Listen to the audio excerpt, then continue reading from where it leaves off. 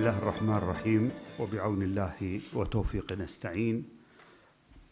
سعادة الأمين العام للمجلس الوطني للثقافة والفنون والآداب ضيوفنا الكرام يسعدنا أن نحييكم ونبدأ الجلسة الثانية لهذه الندوة الهامة التي يحتضنها مهرجان القرين الثقافي الحادي والعشرين لهذا العام والتي خصص لها موضوع قيم وهام وكبير. حضرة صاحب السمو أمير البلاد المفدى الأمير قائدا إنسانيا عالميا الكويت مركزا إنسانيا عالميا. ما أعظم هذا الشعار وهذا الاسم الذي نعتز به ونفخر وهو بالفعل وسام على صدر جميع الكويتيين والكويتيات. ومن يعيش على رحاب هذه الأرض الطيبة. لا شك أن هذا ليس بالمصادفة ولا هو بالغريب أن يكون حضرة صاحب السمو الأمير قائدا انسانيا عالميا وأن تكون دولة الكويت مركزا للإنسانية في العالم. فهو نابع أساسا من الهوية الوطنية الكويتية من أصالة العادات والتقاليد والقيم الموروثة في تراث الكويت. روح المبادرة عند الكويتيين منذ الأزل منذ القدم في نصرة المحتاجين وإغاثة المنكوبين وعون اللاجئين ومساعدة الفقراء في العالم. هذه المواقف كثيرة وطويلة وبعيدة في تاريخ الكويت ضاربة في عمق التاريخ الكويتي وهناك الكثير والكثير من الأمثلة الدالة بالفعل على مواقف أهل الكويت شعب الكويت وحكومة الكويت ثم مؤسسات العمل الأهلي. لذلك فإن حول مؤسسات وهيئات العمل الخيري والإنساني الكويتي دور كبير ومهم. خصصنا له هذه الجلسة وهذا المحور المهم في هذه الندوة التي أعطاها مهرجان القرين الثقافي أهمية كبيرة. لذلك اليوم نستكمل هذا الدور بعد أن ناقشنا في يوم أمس في الجلسة الأولى البعد السياسي الحكومي الرسمي وتحليله العلمي من جانب قسم العلوم السياسية بجامعة الكويت والرؤية الفلسفية لدور الكويت مبادرات الكويت في العالم لعمل الخير وعمل الإنسانية وصداه في العالم الذي وصل إلى أن تكون الكويت مركزا انسانيا عالميا. اليوم دور المنظمات، دور المؤسسات الأهلية. ولا شك هناك عدة مؤسسات سوف تحتضنها الجلسة الحالية والجلسة التي ستعقب هذه الجلسة بعد ساعة ونصف من الآن حيث اليوم سنتطرق إلى مواضيع مهمة من خلال ضيوفي الكرام. اليوم نستضيف معنا الأخ الدكتور إهلال الساير رئيس جمعية الهلال الأحمر الكويتي. كما يسعدنا أن نستضيف الأخ الأستاذ إبراهيم أحمد الصالح مدير عام بيت الزكاة. مؤسستين نعتز بهما ونفخر لما قدماه في رصيد دولة الكويت والشعب الكويتي من إنجازات كبيرة نفاخر بها في مجال العمل الخيري والإنساني. سيتحدث كل منهما نصف ساعة ثم سنعطيكم إن شاء الله المجال للتعقيبات والأسئلة وإضافات لهذه الندوة لنوثقها بإذن الله توثيقا يفيد الجميع. لنبدأ مع الأخ الدكتور هلال السائل. تفضل. الكويت كانت وتظل رمزا للإنسانية وصاحبة ريادة في مجالات العمل الإنساني والإغاثي في ظل قيادة سمو أمير البلاد الشيخ صباح الأحمد الجابر صباح حفظه الله. قائد الإنسانية. إن جهود سمو الأمير البلاد في الإنساني والخيري والإغاثي معروفة للجميع وحظيت بشهادات إقليمية ودولية ونحن فخورون بالوصف الذي أطلقه السكرتير العام للأمم المتحدة بان كيمون على صاحب السمو أمير البلاد حين قال إنه بطل من أبطال العمل الإنساني والدولي وهي بلا شك شهادة يعز بها كل مواطن كويتي إنما حققته الجمعية من مكانة متميزة في العمل الإنساني على المستويين المحلي والدولي. جعلها نموذجا في العمل التطوعي الكويتي وتقديم المساعدات الإغاثية والإنسانية ما هي إلا تنفيذ لتوجيهات سمو أمير البلاد الشيخ صباح الأحمد لتخفيف من معاناتهم. وتشعر الجمعية بكل فخر واعتزاز لمساعدتنا الإنسانية والإغاثية للدول التي تتعرض للكوارث أو من صنع الإنسان بتوجيهات سامية من قائد الإنسانية سمو الأمير الشيخ صباح الأحمد جابر الصباح وعلى فكرة الشيخ جاب آه، صباح الأحمد هو رئيس فخري للجمعية الهلال الأحمر. آه، راح أبتدي بالمواضيع الآتية. أولا آه، شلون الجمعية تأسست وما هي أهداف الجمعية وما هي المبادئ التي تعمل من خلالها الجمعية. وبتكلم عن مركز العمليات وإدارة الكوارث عندنا. وأيضا بتكلم عن المساعدات المحلية والمساعدات الخارجية والمشاريع التنموية. في ديسمبر 65 اجتمع رجالات 18 من رجالات الكويت في اجتماع لإقرار النظام الأساسي لقيام هذه الجمعية. بعدها بشهر أشهرت هذه الجمعية. سهل توقيع الحكومة الكويتية على اتفاقيات جنيف الأربع لعام 1949 وانضمام جمعية الهلال الأحمر اللي عرفت فيها بعد باسم الاتحاد الدولي لجمعيات الصليب الأحمر والهلال الأحمر. أن جمعية الهلال الأحمر تطوعية تتمتع باستقلالية الذات وشخصيتها الاعتبارية وهي تعمل كهيئة مساعدة للسلطات الرسمية في الجانب الإنساني وتشمل دائرة دائرة عملها جميع محافظات الدولة. وهي على أتم استعداد دائما لتمديد العون والمساعدة إلى جميع الدول المنكوبة والشعوب المحتاجة تعمل الجمعية على تحقيق مبادئ حركة الصليب الأحمر والهلال الأحمر داخل البلاد وخارجها على أساس اتفاقيات جنيف الأربع وبروتوكولات الإضافيين ما هي أهدافها؟ أولا تضمن الجمعية الرعاية الاجتماعية والصحية للفئات المحتاجة والمساهمة في عمليات الإنقاذ من الكوارث وتوفير الإسعافات الأولية. أيضا تعمل على معاونة منكوبي الكوارث الطبيعية والأخرى وهي من فعل الإنسان. ثالثا التوسط في تبادل المعلومات بين القاطنين في المناطق المحتلة وكذلك بين أسرى الحرب وذويهم وتعزيز المعلومات والاتصالات مع الاتحاد الدولي لجمعيات الصليب الأحمر والهلال الأحمر والجمعيات الوطنية واللجنة الدولية للصليب الأحمر. أيضا تقدم مساعدات والحماية للجرحى والأسرى والمنكوبين أيام الحرب. ما هي المبادئ اللي تعمل بها الجمعية؟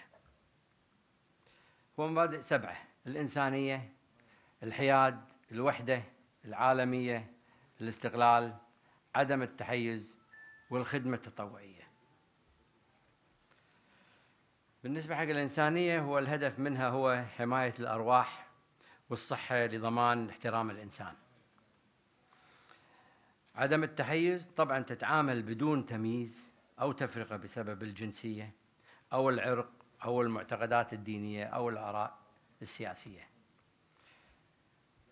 الحياد في سبيل التمتع بثقة الجميع لا تدعم أحد أطراف في النزاعات أو التورط في في جدال سياسي أو عرقي أو ديني أو إيديولوجي في أي وقت.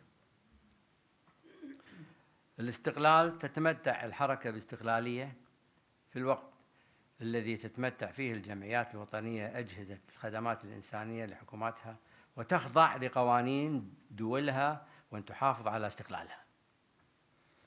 الخدمة التطوعية طبعا هي يعني من غير دافع. الوحدة يجب ما كل جمعية واحدة في كل بلد ما يصير جمعيتين للهلال الأحمر. العالمية الحركة الدولية للصليب الأحمر والهلال الأحمر التي تتمتع فيها كل جمعيات المساواة وتشترك في المسؤولية والواجبات وهي حركة عالمية.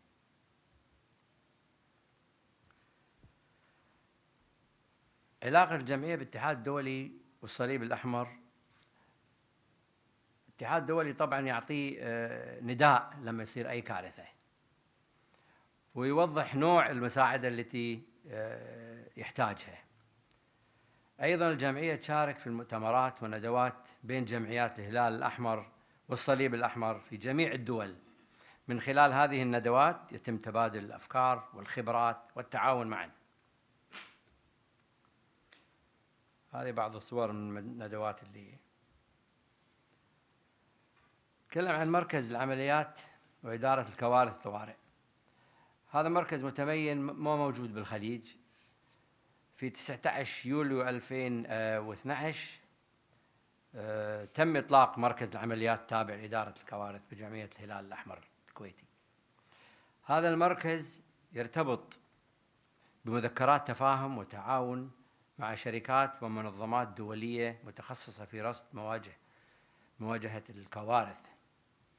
والمركز هذا يحتوي على قاعدة رصد ضخمة تضم كافة أنواع الكوارث الطبيعية لتوفير قاعدة بيانات متكاملة لصانع القرار حول نوع الكارثة طبيعية وبيئية أو نزاع مسلح والذي يشمل التقييم المبدئي والاحتياجات العاجلة للجميع أو الدول المنكوبة.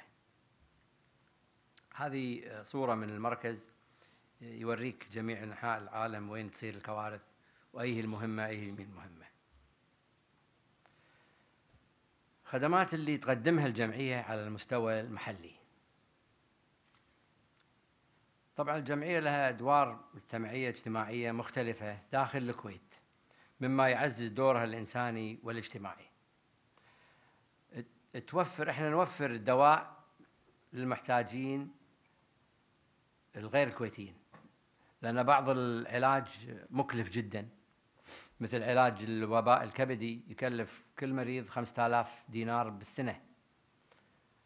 والوافدين ما يقدرون على هذا فالجمعية تساعدهم دائما في هذه أيضا توفر دعامات للقلب هي هم آه، غالية والمستلزمات الطبية والكراسي المتحركة. أيضا رعاية الأسر المحتاجة.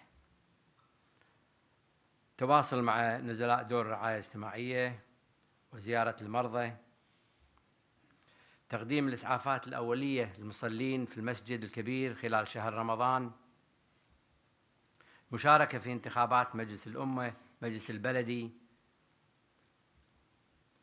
يعمل مكتب السجون عندنا مكتب في السجون في السجن. على توفير الخدمات الإنسانية للسجناء ومتابعة أحوالهم وتقديم الدعم المعنوي والمادي لهم ولأسرهم. أيضا نستقبل طلبة المدارس للتوعية بالعمل التطوعي. أيضا ننظم دورات إسعاف أولوية للمتطوعين والمتطوعات وهذه مهمة جدا لأن بعض المرات الناس يقدرون ينقذون أرواح الناس إذا عندهم معلومة بالفيرست ايد وهذا. أيضا نشارك في المعارض على المستوى الداخلي. ما هي الخدمات تقدمها الجمعية المستوى الخارجي؟ مثلت المساعدات الإنسانية امتدادا للبرامج الإنساني اللي تنفذها الجمعية بتوجيهات سامية وتعبير عن استمرار برامج الجمعية الإنسانية للعديد من الدول الشقيقة. والصديقة لمواجهة الأزمات والكوارث التي اجتاحتها. طبعا الخدمات هي إغاثة عالجة عاجلة بالأول وبعدين البنية التحتية وبعدين مشاريع تنموية.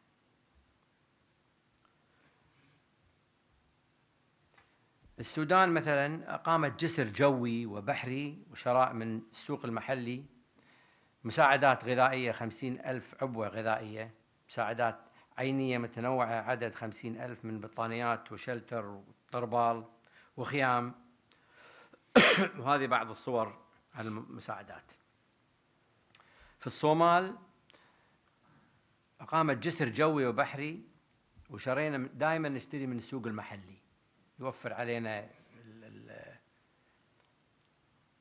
مشروع حفر عشر آبار مائية لأن ما كان عندهم جفاف وماء. مواد غذائية عشرين ألف عبوة غذائية أربعمائة طن من الرز ألفين طن من الدقيق. إفطار صائم بألفين أسرة تقدم سيارتين أسعاف مولدات كهربائية للمستشفيات ومشروع الأضاحي. هذه الصورة مالت الإسعافات. والغذاء والصومال. بالنسبة حق الفلبين الكويت من أوائل الدول اللي بدأت نداء الواجب الإنساني تبرعت بعشر ملايين دولار وهذا أعطيناهم مواد غذائية مواد صحية توفير الخيام والآن جاري عمل بناء ألف منزل في الفلبين اللي حاشم التضرر هذا. هذا بعض الصور توزيع صربيا والبوسنة. دمرهم الفيضانات طبعا والمنازل تدمرت وطلبوا منا نرمم ونبني بيوت لهم. فترميم 270 منزل في البوسنة وبناء 40 منزل في صربيا وفرنا مواد غذائية وصحية. هم كانوا يعتمدون على زراعة كبيرة وطبعا الفيضانات دمرت الأراضي. فطلبوا منا بذر فبذور وأعطيناهم بذور. وأيضا حق التراكترات كانوا يحتاجون ديزل فوفرنا لهم ديزل عشان ترجع الزراعة لهم. وهذه بعض البيوت اللي, اللي رممناها. شكلها حلو. تايلاند طبعا الجمعية قدمت عديد من المساعدات اللي تعرضت لكارثة في السونامي 2006 هاي كانت من أكبر كوارث آه، كان في تايلاند عندهم الصيادين قوارب طبعا راحت ووفرنا لهم 300 قارب وخلينا آه، يسوون القوارب داخل تايلاند على أساس نمشي المعامل مالتهم. وعشرة آلاف عبوة من المواد الغذائية الصحية وعيادات متنقلة. هذه بعض القوارب اللي أعطيناهم مع المكاين مع هذه بعض التوزيعات. إندونيسيا طبعا أيضا حاشها السونامي أكثر شيء لأن بدت من هناك. بنينا محطة مياه لأن كان تلوثت المياه مع البحر. وقرية المرحوم جابر الأحمد صباح 150 منزل. وبنينا مدرسة للأيتام. ووفرنا 300 قارب صيد للصيادين. وتوفير 60 شاحنة للنقل مع المعدات الثقيلة. اللي حصل الكارثة كانت في بندا آتشي وجزيرة سوماترا تدمرت ما قدروا يوصلون logistic ما قدروا يوصلون. كل الأشجار والبحر دمرها فالطرق كلها راحت. فلذلك وفرنا لهم 60 قطعة شاحنة نقل معدات ثقيلة من Caterpillar. هذه بناء المحطات المياه تشوفها. وأنا شربت منها كانت مياه ملوثة لما طلع اسمه؟ أول واحد شربت أنا طبعا. الباجين خافوا يشربون. وهذه بناء مدرسة الأيتام.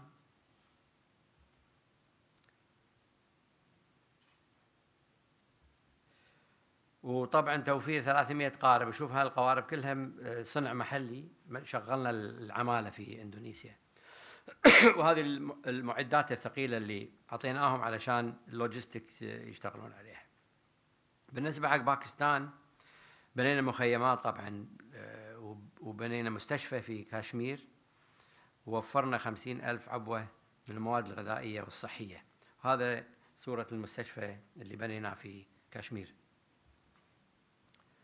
وهذه بعض المخيمات صور بعض المخيمات. طبعا. بالنسبة لفلسطين الجمعية آه، تابعت بقلق. شديد تداعيات العدوان الإسرائيلي على الشعب الفلسطيني في قطاع غزة وظروف الإنسانية المأساوية. حقيقة غزة يعني لقينا مشاكل كثيرة لدخول غزة. معابر كلها تسكرت ولكن الحمد لله توفقنا في بعض المؤسسات داخل غزة ساعدتنا. وأيضا لما فتح الحدود بدينا نشتغل فيها. قام الجسر جوي محمل بمساعدات طبية بحمولة 80 طن وأيضا آه، توفير سيارتين أسعاف. مثل ما قلت لكم شرينا من السوق المحلي من مصر 600 طن من المواد الغذائية ونقلناها من خلال 60 شاحنة بالتعاون مع الهلال الأحمر الفلسطيني ووزارة الصحة الفلسطينية. أيضا شراء من السوق المحلي بقيمة 3 ملايين من غزة نفسها. 3 ملايين دولار في منظمة اسمها منظمة تعاون الحقيقة ساعدتنا كثير بشراء هذه المواد وزعناها داخل آه، مواد غذائية وديزل كان يحتاجون ديزل حق الكهرباء آه، وحليب أطفال وأدوية. هذه بعض الصور توزيع المواد الغذائية داخل غزة. هذه الطائرات تشوف الشاحنات. فلسطين طبعا شرينا من القدس. ثلاثين ألف عبوة من المواد الغذائية والطبية ومستلزمات الأطفال والفرش والتعاون آه، مع وزارة الشؤون في غزة. وهذه بعض الصور اللي تم توزيعها في غزة. وهذه زيارة المرضى داخل قطاع غزة. أيضا جهود الجمعية دعم الشعب الفلسطيني ما توقف يوما من خلال المشاريع منها. ثلاثين ألف حقيبة مدرسية ترميم المنازل أكثر من 500 منزل بالتعاون مع الأنوروا مشاريع الكسوة بصفة مستمرة خلال عيد الفطر والأضحى دفع الإيجارات ولا يزال 500 أسرة بصفة شهرية. مشاريع الرغيف لمدة 30 يوم لخلال شهر رمضان. وهذه بعض الصور اللي آه، توريك توزيع الحقائب. ومشروع الرغيف هذا كان مشروع آه، وايد ناجح. بالنسبة حق اللاجئين السوريين عملت على تنفيذ العديد من الأنشطة والإغاثة لمساعدة اللاجئين السوريين في الأردن وفي لبنان. حيث بلغت حوالي 15 مليون دولار. هذه المساعدات شملت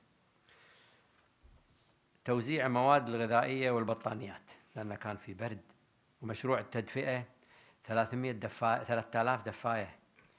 إفطار الصائم عدد المستفيدين 50 ألف. وكسوة العيد الفطر والأضاحي 5000 أسرة. وكسوة الشتاء 5000 أسرة. وعلاج المرضى بعضهم كانوا يحتاجون غسيل كلى كان مكلف وختان الأطفال وعيادة الأسنان هم ساعدناهم. تأجير المخابز لتوزيع الرغيف لمدة سبع أشهر وما زالت مستمرة. هذه تشوفون هني الدفايات اللي وزعناها حق المتضررين وهذه بعض القوافل والشاحنات للاجئين السوريين بالأردن هاي توزيع المساعدات على المخيمات وإفطار صائم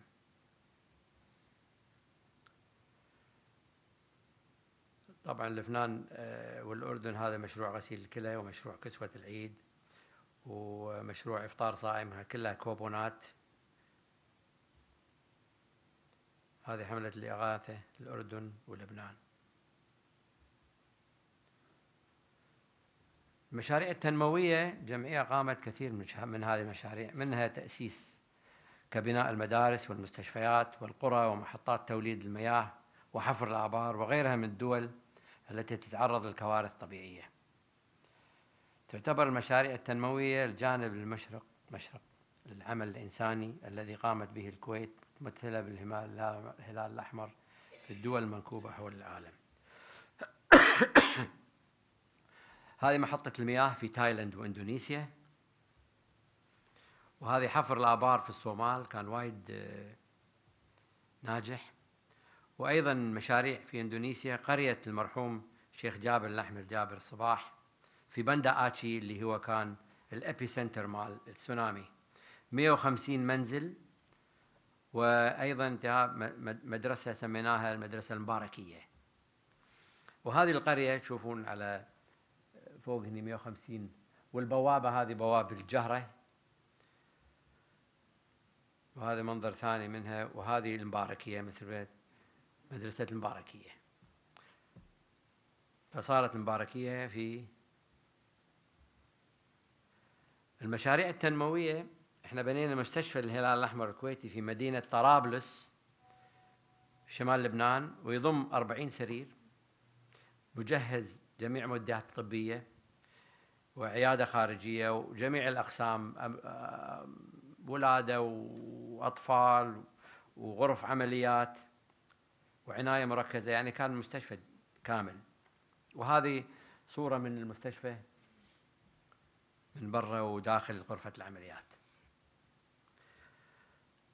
جهود المخلصة من قبل الجمعية لا سيما على الصعيدين الإنساني والاجتماعي هي امتداد لقيمنا الدينية الراسخة وثقافتنا الاجتماعية القائمة على التعاضد والتكافل. إحنا طبعا المساعدات عشان أعطيكم حجم المساعدات قسمناها إلى آسيا في آسيا الأمانة العامة للمنظمة العربية البحرين اليمن العراق الأردن سوريا لبنان فلسطين إيران تركيا أفغانستان باكستان سريلانكا الهند بنغلاديش كازاخستان قرغيزستان طاجكستان كمبوديا الفلبين إندونيسيا تايلاند كوريا الشمالية تيمور الشرقية مينمار الصين مملكة بوتان وأوزبكستان. في أفريقيا مصر ليبيا الجزائر تونس المغرب موريتانيا غامبيا السنغال غينيا بيساو ليبيريا مالي السودان إثيوبيا إريتريا أنغولا زيمبابوي بوستوانا سوازيلاند. موزمبيق مالي ملاوي جزر القمر الصومال جيبوتي كينيا تنزانيا النيجر أوغندا بوروندي مدغشقر ساحل العاج. في أوروبا أذربيجان الشيشان أنغوشيا أوكرانيا تشيك كوسوفو البوسنة وصربيا الباب ألبانيا جورجيا المفوضية السامية للأمم المتحدة لشؤون اللاجئين الاتحاد الدولي لجمعيات الصليب الأحمر والهلال الأحمر. أمريكا الشمالية الولايات المتحدة سلفادور هندورس نيكاراغوا وهايتي الولايات المتحدة رحت أنا آه، إلى آه، نيو أورلينز لما صار عندهم الكاترينا. وأعطيناهم آه، مساعدات. بنوا أربعة chapters في محافظة لويزيانا. والمحافظ مال مال آه، باتون روج هذه مدينة في لويزيانا آه، سوى حفلة كبيرة وسوى يوم يعني يوم حق الكويت. حددوا يوم هذا يوم الكويت للمساعدات شو اسمه وأعطاني صرت محافظ فخري في باتون روج. آه، أمريكا الجنوبية فنزويلا تشيلي الأكوادور وسورينام هذه الخارطه توريك حجم المساعدات اللي آه، الهلال الأحمر قدمها من أقصى الشرق إلى أقصى الغرب. بلد صغيرة مثل الكويت قدمت جميع هذه المساعدات.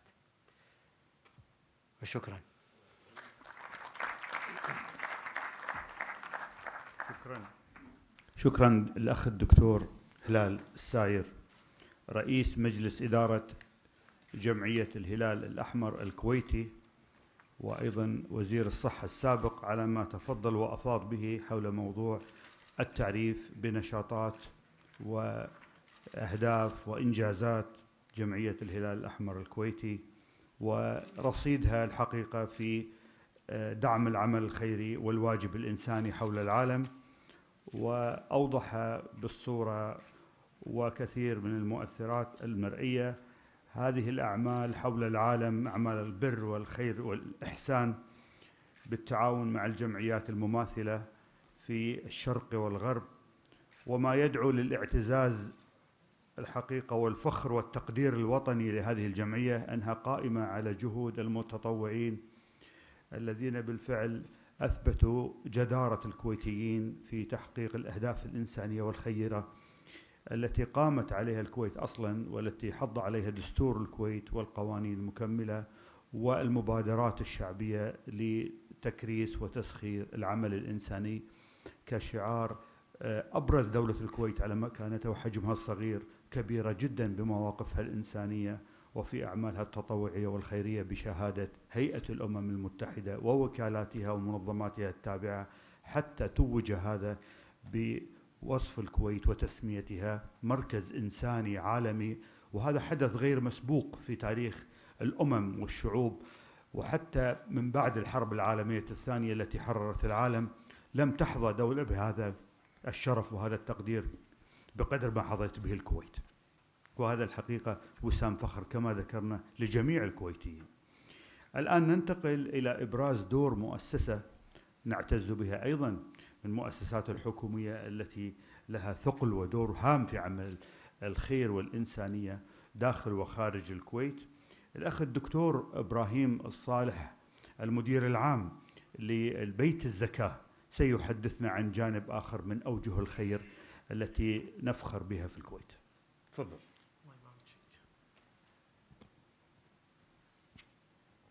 مفتوح إن شاء الله الحمد لله رب العالمين والصلاة والسلام على أشرف المرسلين سيدنا محمد الأمين وعلى آله وصحبه أجمعين وبعد. السيد الفاضل المهندس علي يوحى الأمين العام للمجلس الوطني للثقافة والفنون والآداب الأخوة والأخوات الحضور الكرام السلام عليكم ورحمة الله وبركاته. يطيب لي أن أقدم شكري وتقديري لما تقدمه لما تقدمونه من مؤتمرات ومهرجانات ثقافية واجتماعية لها الأثر الكبير في إبراز دور الكويت الحضاري على المستويين المحلي والدولي. وخير دليل على هذا الأمر هو مهرجان قرين الثقافي في سنته الحادية والعشرين. وبهذه المناسبة يطيب لي أن أقدم لكم الإسهامات الخيرية والإنسانية والإغاثية داخل وخارج دولة الكويت. لأهل هذا البلد الطيب التي شهد لها العالم أجمع. بمد أياديها البيضاء لمساعدة الفقراء والمحتاجين دون سؤال عن ديانتهم أو عرق أو عرقهم. ويعود الفضل في هذا بعد الله سبحانه وتعالى إلى الدعم الكبير من حضرة صاحب السمو أمير البلاد المفدى الشيخ صباح الأحمد الجابر الصباح حفظه الله ورعاه. واستحق عن جدارة لقب قائد إنسانية لما قدمه سموه من خدمات للقضايا الخيرية والإنسانية والإغاثية منها وجعل دولة الكويت كبيرة بأفعالها وعطاءاتها رغم صغر حجمها ولا يسعنا في هذا المقام إلا أن نوجه خالص التحية وجزيل الشكر لأميرنا وقائد مسيرتنا لما يقدمه من إسهامات من إسهامات لرفع اسم الكويت عاليا في جميع المحافل الإقليمية والدولية. ويشرفني بهذا بهذه في هذه المناسبة أن أقدم لكم عرضا الأعمال الخيرية والإنسانية. التي قام بها بيت الزكاة داخل وخارج البلاد خلال عام واحد وهو 2014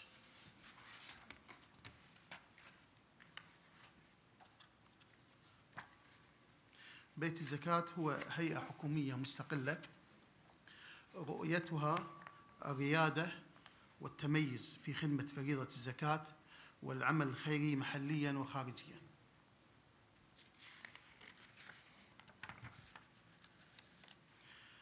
رسالتها رسالة بيت الزكاة يعني بفريضة الزكاة من خلال جمع وتنمية موارد الزكاة والخيرات والخيرات وإنفاقها محليا وخارجيا بأعلى مستوى من الكفاءة والتميز ويسعى إلى التوسع الكمي والنوعي في الخدمات المقدمة للفئات المستفيدة من محسنين ومستحقين بما يتوافق مع الاحتياجات التنموية للمجتمع. عبر تبني أنظمة مالية وإدارية تتوافق مع أحكام الشريعة الإسلامية ومعايير الجودة والحوكمة المؤسسية. إن انتشار إن الانتشار الجغرافي والإعلامي وتطوير الموارد البشرية جزء حيوي من رسالة البيت وفق خطط عمل تتواءم مع توجهات الدولة في التنمية. أنشطتنا المحلية.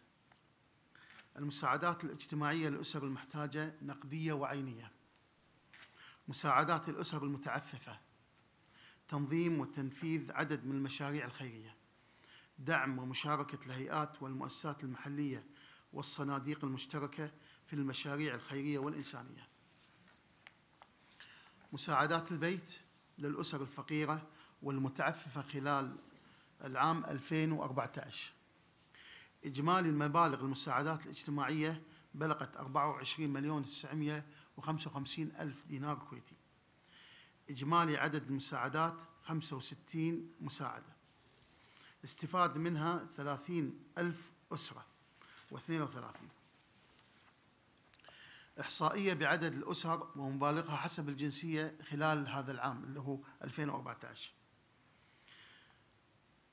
الجنسية كويتي عدد الأسر 8027 كويتي. آه، أسرة كويتية. عدد الأفراد 36066 فرد. المبلغ بالدينار الكويتي 9 مليون و13 دينار. 13 ألف. جنسيات مختلفة. عدد الأسر 8000 أسرة و422 أسرة. عدد الأفراد 39 ألف أسرة و234 المبالغ بالدينار الكويتي 3 مليون و246 ألف. غير محدد الجنسية عدد الأسر 13 ألف أسرة و583 عدد الأفراد 65 ألف و154 المبلغ بالدينار الكويتي 12 مليون و639 إجمالي عدد الأسر 30 ألف أسرة كما ذكرنا وعدد الأفراد 140 فرد. والمبلغ الإجمالي 24 مليون 955 المشاريع الخيرية المحلية الأخرى. التبرعات العينية بلغت 516337 الصناديق المشتركة مليون وثلاثمائة وتسعين ألف. إحنا نشارك بعدد كثير كبير من المؤسسات الحكومية والأهلية. مشروع زكاة الفطر سبعة وخمسين ألف وأربعمائة وثمانين. مشروع ولائم الإفطار ثلاثمائة ألف وأربعة. دعم الهيئات والمؤسسات الحكومية مئة وأربعة وثمانين ألف. مصرف الإطعام والكفارات والذبائح والكسوة والسقية والمتنقية مليونين وثلاثين ألف. المشاريع المحلية الكبرى تبرع سمو الشيخ سالم العلي سالم الصباح من مبلغ 143 مليون و406 ألف للفئات التالية. أسر الشهداء استفاد منها 5157 مستفيد بلغت 9 مليون 592 ألف. ذوي الدخل المحدودة والأقساط المستحقة 68 ألف أسرة و485 استفاد منها 44 مليون و910 ذوي الأحكام القضائية النهائية وحالات الضبط والإحضار 19 ألف مدين و518 بمبلغ 46 مليون 708 المواطن المتزوج مواطنة كويتية لأول مرة 4307 آه، متزوج بلغت 25 مليون 842 المتقاعدون المستفيدون 37 ألف متقاعد و453 المبلغ 18 مليون 726 المشاريع المحلية الكبرى مشروع مركز شيخان الفارسي وشريف العوضي الصحي بمنطقة السرة تم الانتهاء من إنجاز المشروع بنسبة 100% وتسليمه لوزارة الصحة بنهاية شهر 10 2014 الأنشطة خارج دولة الكويت. نوع النشاط المشاريع الخيرية بلغت 3 مليون و81 ألف. كفالة أيتام 4 مليون وتسعمية وثلاثين ألف ستة وعشرين ألف يتيم في سبعة وثلاثين دولة. كفالة طلبة العلم ستمية وأربعين ألف ألف وسبعمية واثنى عشر طالب في أربعة عشر دولة. الدعم والإغاثة ثلاثة مليون وثلاثمية وسبعة وأربعين ألف. مشروع ولائم الإفطار هذا خارج الكويت كله. ثلاثمية واثنين وأربعين ألف ومية وثمانية وستين. مشروع الأضاحي 111435 الإجمالي 12 مليون و454 في مجال التميز المؤسسي حصل البيت على المراكز الأولى في نتائج مؤشرات مدركات الإصلاح للسنوات 2008 ومن 2010 إلى 2014 من بين 49 مؤسسة حكومية تقد- تقدم خدمة مباشرة تقدم خدمة مباشرة للجمهور والتي تنظمها جمعية الشفافية الكويتية. جائزة الشيخ سالم العلي للمعلوماتية وشهادة الشيخ جابر بالجودة وجائزة البحرين للعمل الإنساني. شهادة الجودة الإدارية الآيزو للبيت جهود رائدة في مجال الحكومة الإلكترونية وموقع البيت على الإنترنت واستخدام الأجهزة التقنية الحديثة. جهود متميزة في تطبيق أسس ومبادئ الحوكمة المؤسسية في بيت الزكاة.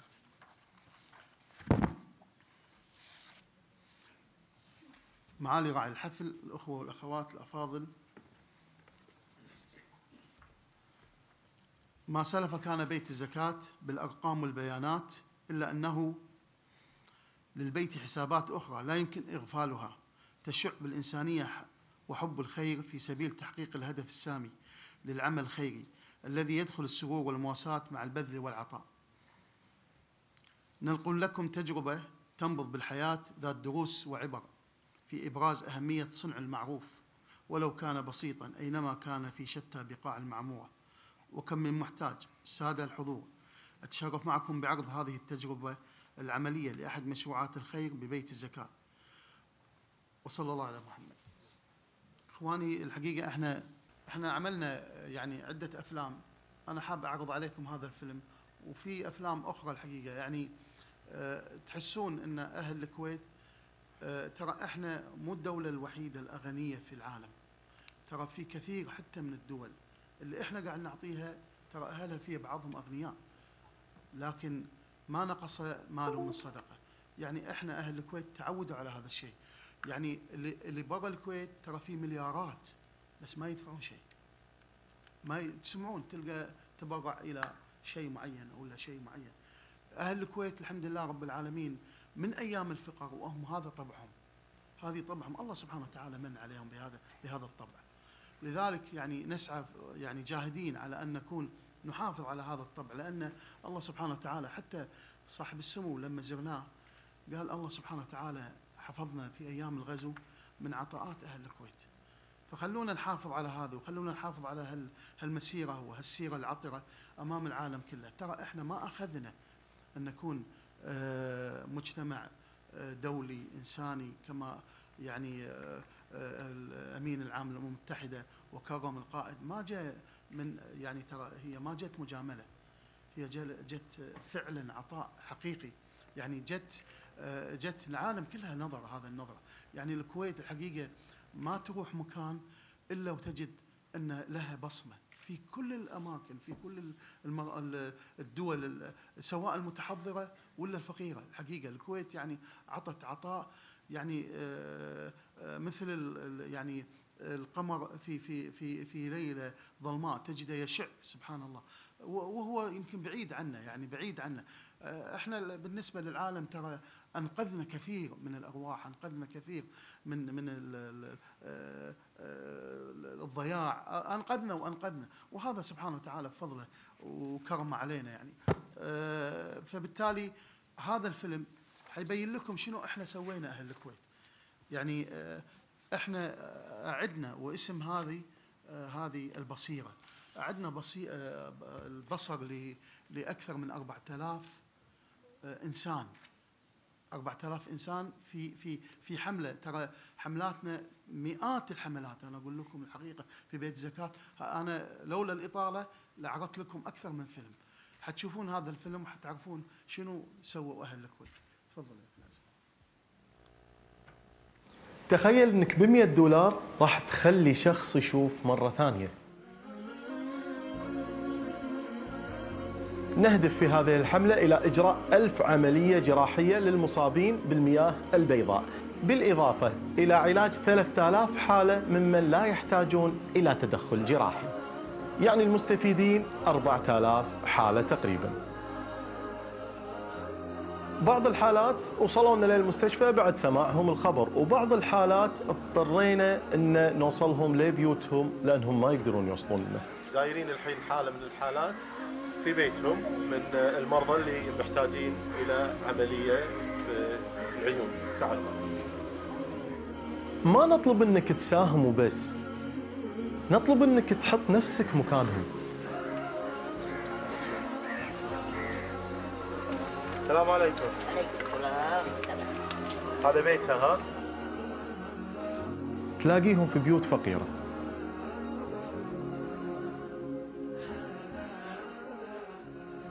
الماي الأبيض مثل الغشاوة على العين ما يخلي يشوف شيء. سنوات كثيرة وهم يشوفون بهالطريقة. صحيح إحنا مو أطباء ولكن مجرد الاطمئنان عليه والنظر في مشكلته يعطيه دافع كبير. هذا يروح المستشفى مباشرة ويخليه يسرح ومو مصدق إنه فعلا بيعالج عينه. الباصات كاهي قاعد تحمل الناس من المناطق الفقيرة وتجيبهم المستشفى هني. نحاول نغطي كل المناطق وندور الأحوج اللي محتاج فعلا لتلك العمليات. هذا المرضى كان من الجنوب من سنة.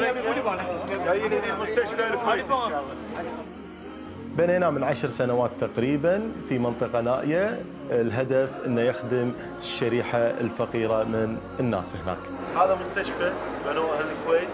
جايين اليوم نسوي فيه حملة طبية إنسانية بحتة إن شاء الله. تعالوا معنا وشوفوا داخل إن شاء الله شنو حملتنا. تم بنائها عن طريق متبرع.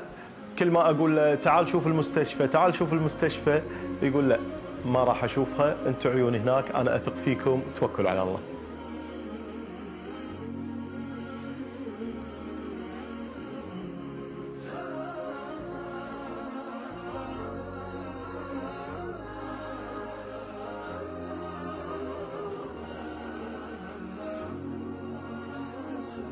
كان هناك أعداد كبيرة من المرضى بانتظار آه، إجراء الفحص المسبق للعين إن كان يحتاج عملية أو علاج.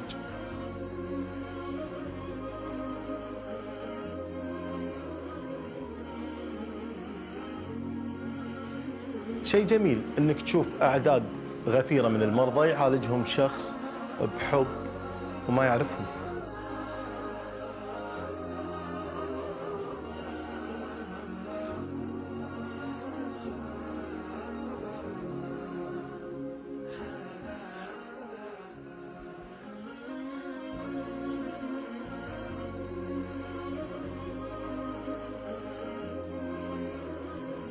في كل حملاتنا الإغاثية نحاول نكون جنبا إلى جنب بجانب الإنسان الفقير المحتاج لهذه الإغاثة. إحنا لبسنا أساس ندش غرف العمليات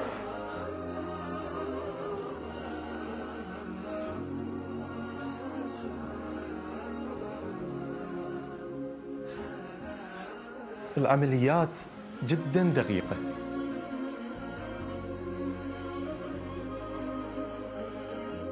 لكثرة الأعداد تجرى كل أربع عمليات في غرفة واحدة. أربع عمليات في غرفة واحدة. وجودنا بعد العملية بجانب المريض أمر مهم. آه، هني مرضى أجريت لهم العمليات والآن في مرحلة آه، ما بعد العملية إن شاء الله. دخولك عليهم بصفتك الإنسانية. لا المسؤول ولا المشرف على هذه الحملة تعطيهم دافع نفسي كبير. كيف حالك؟ طيب؟ استريح استريح استريح استريح. كيف حالك؟ طيب؟ يعني شوفوا شوفوا السعادة عليهم، شوفوا الفرح. مستانس. عالج عينه الحمد لله أكيد بيفرح. أنت رجعت للحبيبتين كما سماهم الرسول صلى الله عليه وسلم. ما شاء الله ما شاء الله. استريح استريح استريح استريح. أنت عجوز. استريح استريح استريح. استريح استريح. لا لا خلاص. نام نام نام اشكرك جزاك الله خير. كم عمرك أنت؟ كم عمرك؟ 88 ثمانية شباب أحيانا الإنسان يحتاج إلى الابتسامة أكثر من العلاج. لذلك كنا كنا ندخل نتغشمر معاهم ونضحك معاهم و يعني نحاول نغير عليهم جو آه، التوتر اللي بعد العملية أو قبل العملية. الحين بعد ما اخذنا الاذن راح نشوف القسم النسائي اللي أجريت لهم هذه العمليات. تعال.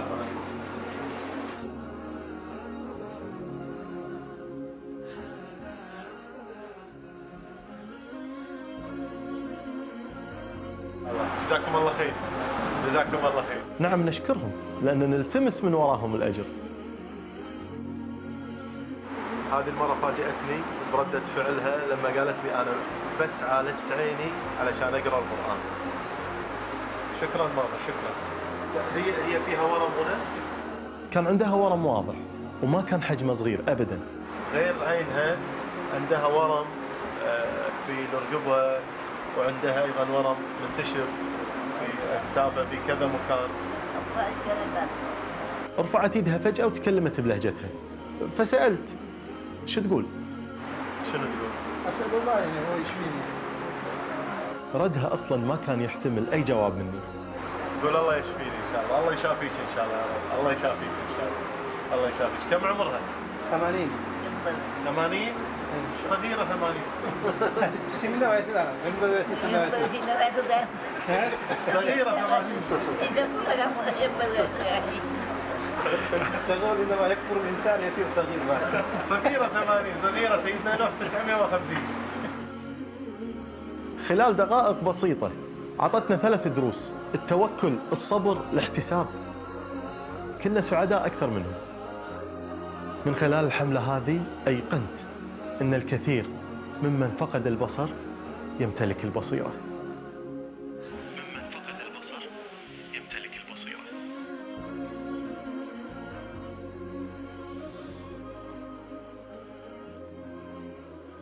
وهذا وجزاكم الله خير على الحسن شكرا. شكرا. نشكر الأخ الدكتور إبراهيم الصالح مدير عام بيت الزكاة الكويتي الحقيقة على ما تفضل به من إيضاح لدور بيت الزكاة في الأعمال والأنشطة والمشاريع الخيرية الداخلية والخارجية التي حض تحض عليها دا- دائما فريضة الزكاة والصدقات وسبل الإنفاق الشرعية لفريضة الزكاة. وما تبوأ به بيت الزكاة كمؤسسة وطنية رائدة نعتز بها في مجال الإدارة والتميز المؤسسي والشفافية وهذا الحقيقة نتيجة لما جسده آه، بيت الزكاة في تأصيل شمائل الخصائل الحميدة والسمات للشعب الكويتي التي دأب عليها في فعل الخير وصنع المعروف وأداء الواجب الإنساني. آه، كما قال آه، الله في كتابه الحكيم وتعاونوا على البر والتقوى. هذا ما جسده بيت الزكاة. في البذل والعطاء بكل سخاء من أهل الكويت. وجزاهم الله على هذه الأعمال وهذه الأفعال الخيرة خير الجزاء بإذن الله وأثابهم بإذن الله خير الثواب. الآن الحقيقة بفتح باب النقاش لحضورنا الكريم أو التعقيبات أو الأسئلة. مرفت عبد الدايم جريدة الوطن. آه، طبعا لا يخفى على أحد دور الكويت في ال- العمل الإنساني. ولكن بيهمني كصحفية في الوقت الحالي أن أسأل عن آه، دور الهلال الأحمر ودور بيت الزكاة في الوقت الحالي في في في ظل البرد الشديد آه، لل- للسوريين سواء في الموجودين في المخيمات في الأردن أو في لبنان.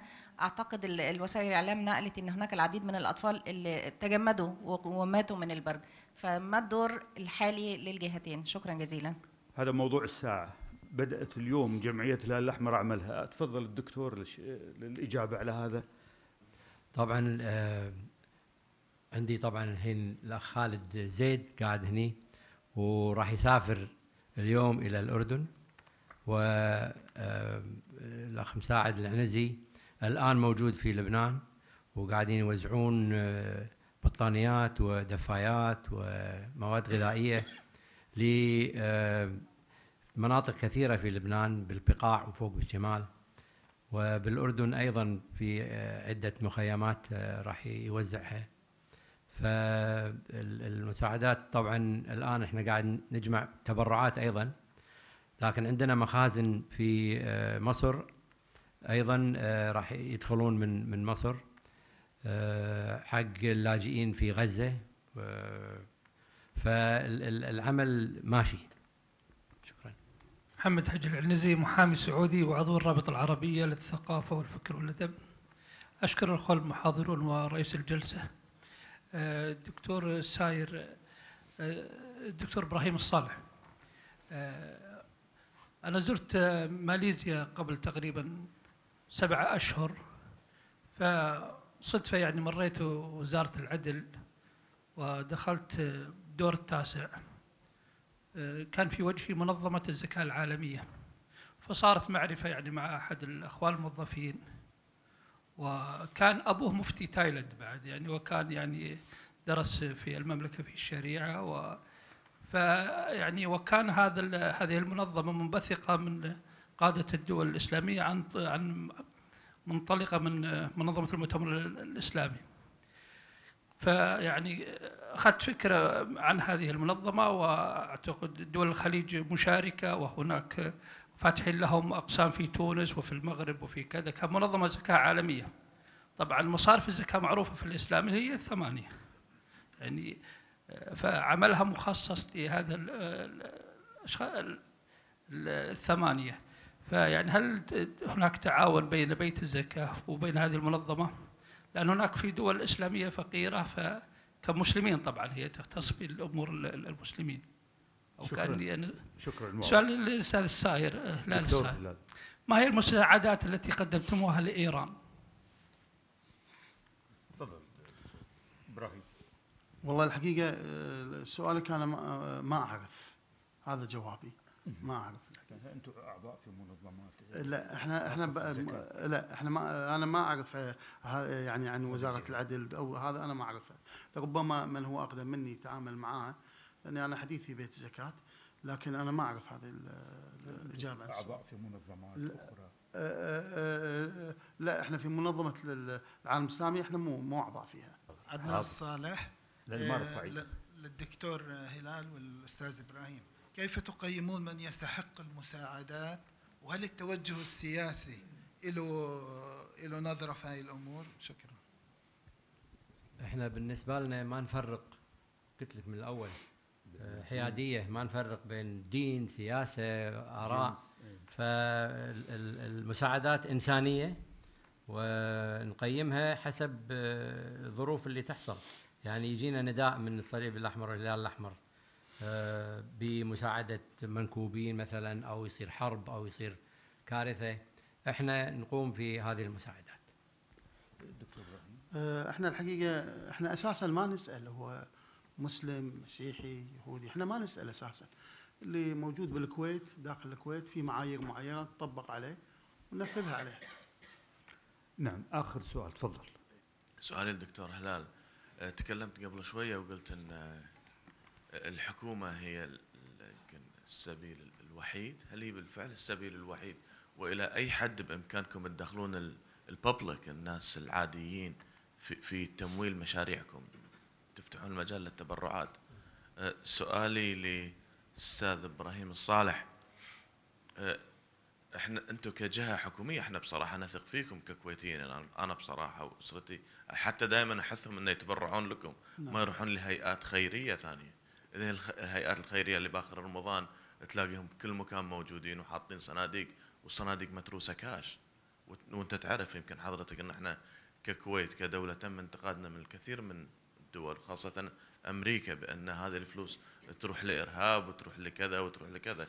فقالوا إن نحدد آليات مثل ما يكون دفع كاش يكون دفع عن طريق K-Net ولا credit cards وهذا. عشان يعرفون وين من الفلوس قاعد تطلع إلى وين. هل أنت قاعد تشوف في نوع من التنافس ما بينكم وما بينهم؟ ولا في أي تواصل ما بينكم وما بينهم؟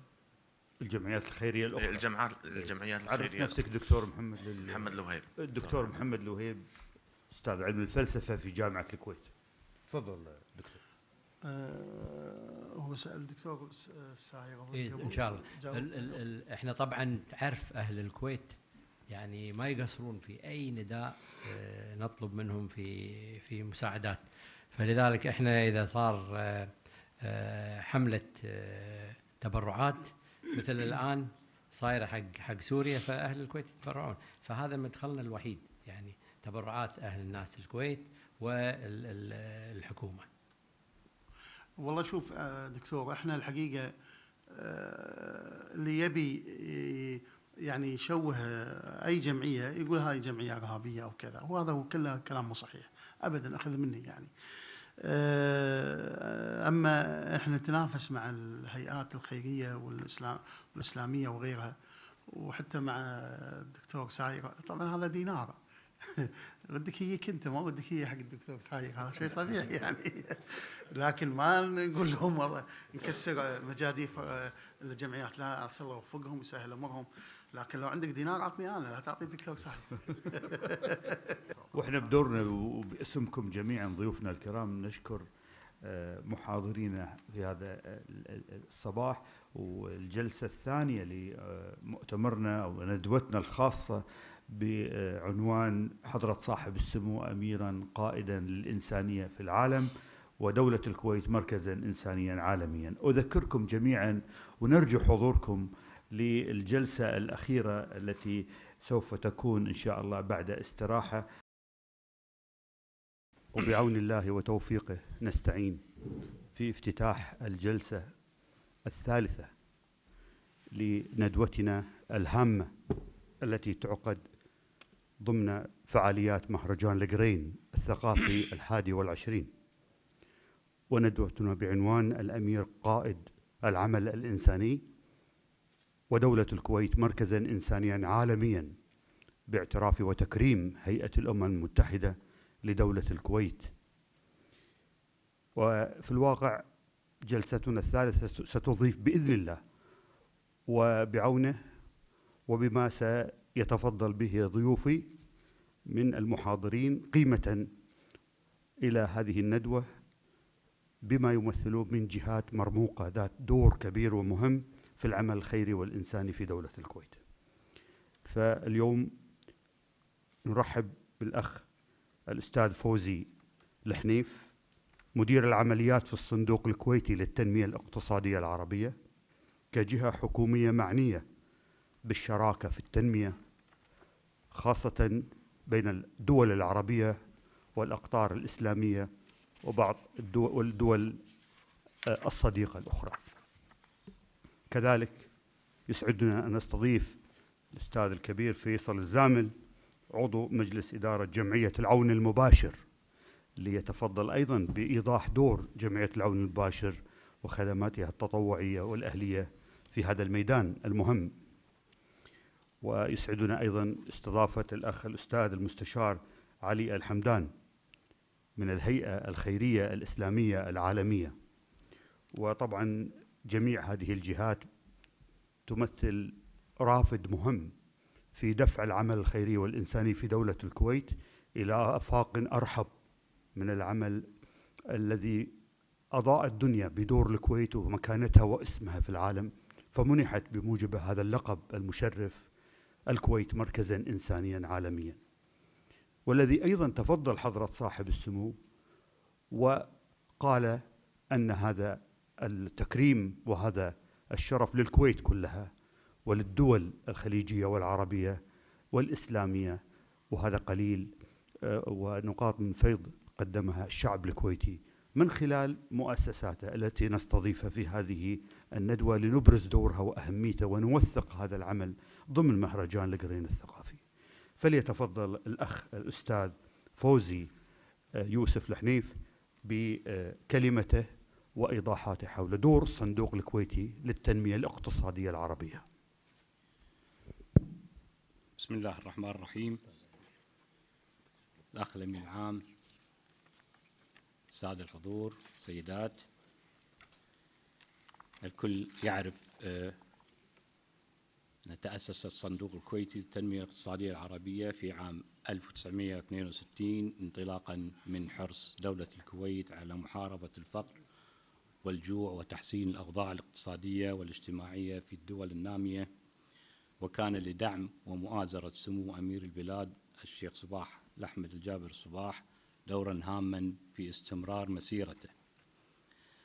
استطاع الصندوق خلال فترة من مد يد العون إلى 104 دولة نامية في جميع أنحاء العالم حيث وصل عدد المشاريع التي ساهم الصندوق في تمويلها منذ إنشائه حتى يومنا هذا إلى 873 مشروعا تنمويا بلغت قيمتهما حوالي 18 مليار دولار أمريكي وغطت هذه المشاريع قطاعات اقتصادية حيوية مثل النقل والاتصالات والزراعة والري والصناعة والطاقة والمياه والصرف الصحي والصحة والتعليم وبنوك تنموية وغيرها. وبذلك ساهم الصندوق الكويتي في مد جسور الصداقة والتعاون مع عدد كبير من الدول النامية. وأبرز مكانة دولة الكويت دورها الحيوي في حل المشاكل الاقتصادية الاجتماعية في مناطق مختلفة من العالم مما ساهم في تسمية الأمم المتحدة المتحدة سمو الأمير صاحب السمو الشيخ صباح الأحمد قائدا إنسانيا وفي إعلان الكويت مركزا إنسانيا عالميا. وحرصا من دولة الكويت على مساندة الدول العربية والدول النامية الأخرى في تحقيق التنمية وتحسين مستوى معيشة شعوبها أطلق سمو الأمير عدد من المبادرات من بينها إعلان سمو الأمير أمام المؤتمر الاقتصادي الإسلامي الدولي الرابع الذي استضافته دولة الكويت في شهر أبريل 2008 مبادرة إنشاء صندوق الحياة الكريمة في الدول الإسلامية. وتبرعت دولة الكويت بمبلغ 100 مليون دولار أمريكي لدعم مبادرة وتعزيز الأمن الغذائي في الدول الإسلامية حيث وضع الصندوق الكويتي الخطط والترتيبات اللازمة لإدارته. وقد استفاد من هذه المبادرة الكريمة الدول الإسلامية الأشد فقرا والأقل نموا حسب تصنيف الأمم المتحدة وعددها 22 دولة. إيمانا من الصندوق بمبدأ استمرارية صندوق الحياة الكريمة لتحقيق الأهداف الاقتصادية والاجتماعية المرجوة منه أكد على أن تكون هذه المنحة مرتبطة بشروط تضمن أن تدار من قبل بنوك متخصصة في مجال تمويل المشاريع الصغيرة ومتناهية الصغر في مجال الزراعة وتوفير الأمن الغذائي بما في ذلك تربية الحيوانات والدواجن وصيد الأسماك وعمليات التصنيع الزراعي الصغيرة. فضلا عن توفير القروض الموسمية لتمويل المدخلات الزراعية والخدمات اللازمة للإنتاج.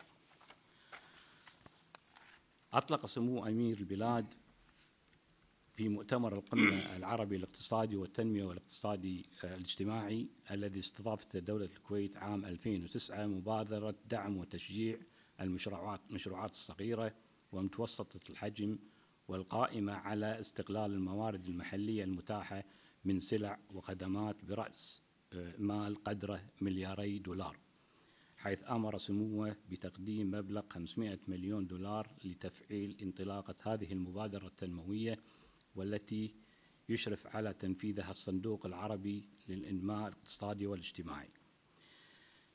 كما أعلن سمو الأمير في مؤتمر المانحين لإعمار شرق السودان الذي عقد في دولة الكويت عام 2010 عن مساهمة دولة الكويت ب 500 مليون دولار لمنطقة شرق السودان بقية تنفيذ مشروعات بنية تحتية وخدمات.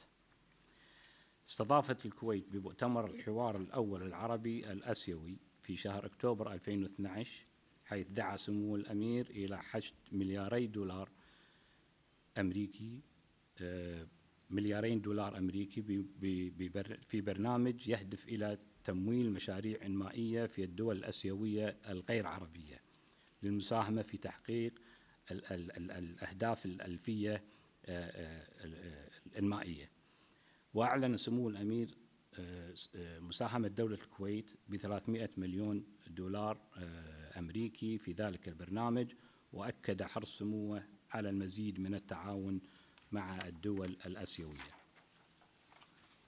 وفي نوفمبر 2013 آه، دعا سموه القمة العربية الأفريقية التي أعلن فيها سموه آه، عن تخصيص مليار آه، دولار أمريكي كقروض ميسرة يقدمها من موارد الصندوق الكويتي لتمويل مشاريع تنموية في الدول الأفريقية.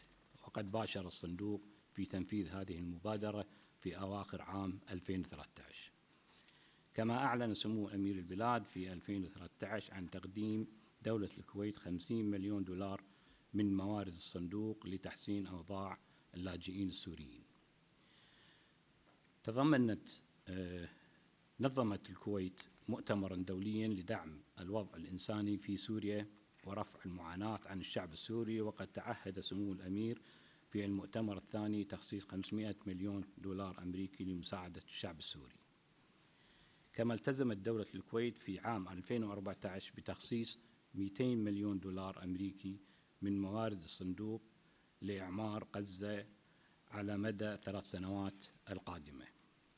على صعيد متواصل قام الصندوق بجهود كبيرة في تمويل برنامج مكافحة وباء عم النهر الذي انتشر في غرب أفريقيا حيث قامت الكويت بالتعاون مع عدد من الدول والمنظمات والمؤسسات الدولية بما في ذلك منظمة الصحة العالمية.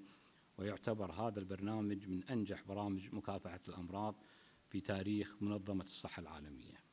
ومن الجدير بالذكر أن الصندوق يقوم بإدارة المنح المقدمة من دولة الكويت التي استفادت منها 43 دولة ومنظمة عالمية بقيمة 3.7 مليار دولار أمريكي حيث تغطي هذه المنح مشاريع في القطاع الزراعة والإسكان والمياه آه، ومياه الشرب والمواصلات والتعليم والصحة والطاقة والبنوك التنموية.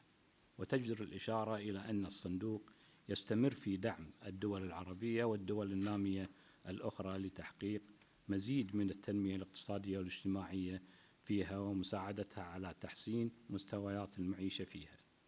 وذلك برعاية ومساندة حضرة صاحب السمو أمير البلاد حفظه الله ورعاه. شكرا.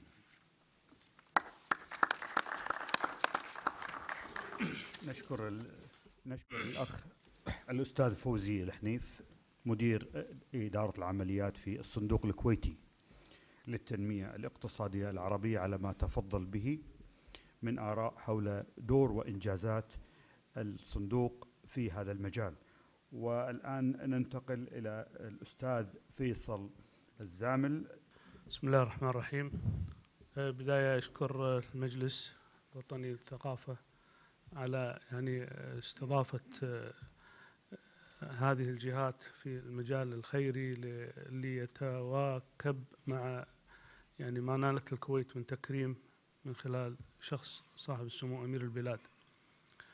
والحقيقة كما حضراتكم يعني العارف لا يعرف الكويت في هذا الموضوع أصبحت قدوة.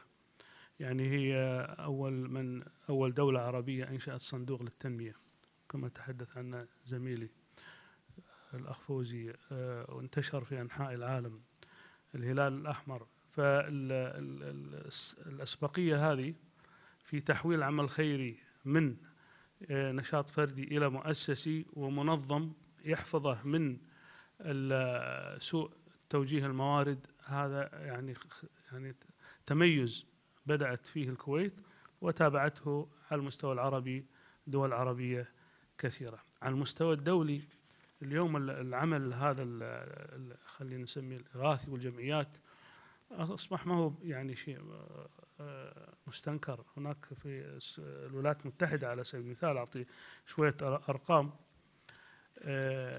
حجم العمل الخيري هناك في عام 2002 إحصائية قديمة أنفق 212 مليار. يعمل فيها 11 مليون موظف إلى جانب 90 مليون متبرع أو متطوع. آه، عبر 32 ألف منظمة ويوميا تنشأ في الولايات المتحدة 200 منظمة. فهذا توجه عالمي. الكويت عندما يعني آه، تمشي في هذا الخط فهي بالفعل تواكب توجه إنساني ولكن آه، كدولة صغيرة أثرها كان كبير في الإبداع والتخصص. فاليوم أمامك جمعيات تخصصت في مناطق جغرافية مثل حالة جمعية العون. في ناس تخصصت بشكل طبي صندوق إعانة المرضى. وهناك من تخصص في حتى المعالجات الإنسانية لضحايا الحروب وإعادة تأهيلهم وفي جمعيات كويتية ناهيك عن الجمعيات التي اهتمت بشؤون المرأة أيضا وهي كثيرة. هذا النوع من تحويل العمل الخيري إلى عمل مؤسسي يؤدي إلى ما يسمى بالتنمية المستدامة. جامعة مدرسة آه، وليس الإغاثة للظروف الطارئة. كما تعرفون حضراتكم الحروب اليوم خلفت كوارث وغير الحروب أيضا هناك المجاعات الجفاف والحمد لله الكويت تستجيب كما ذكر الدكتور هلال للنداءات بشكل آه، منتظم.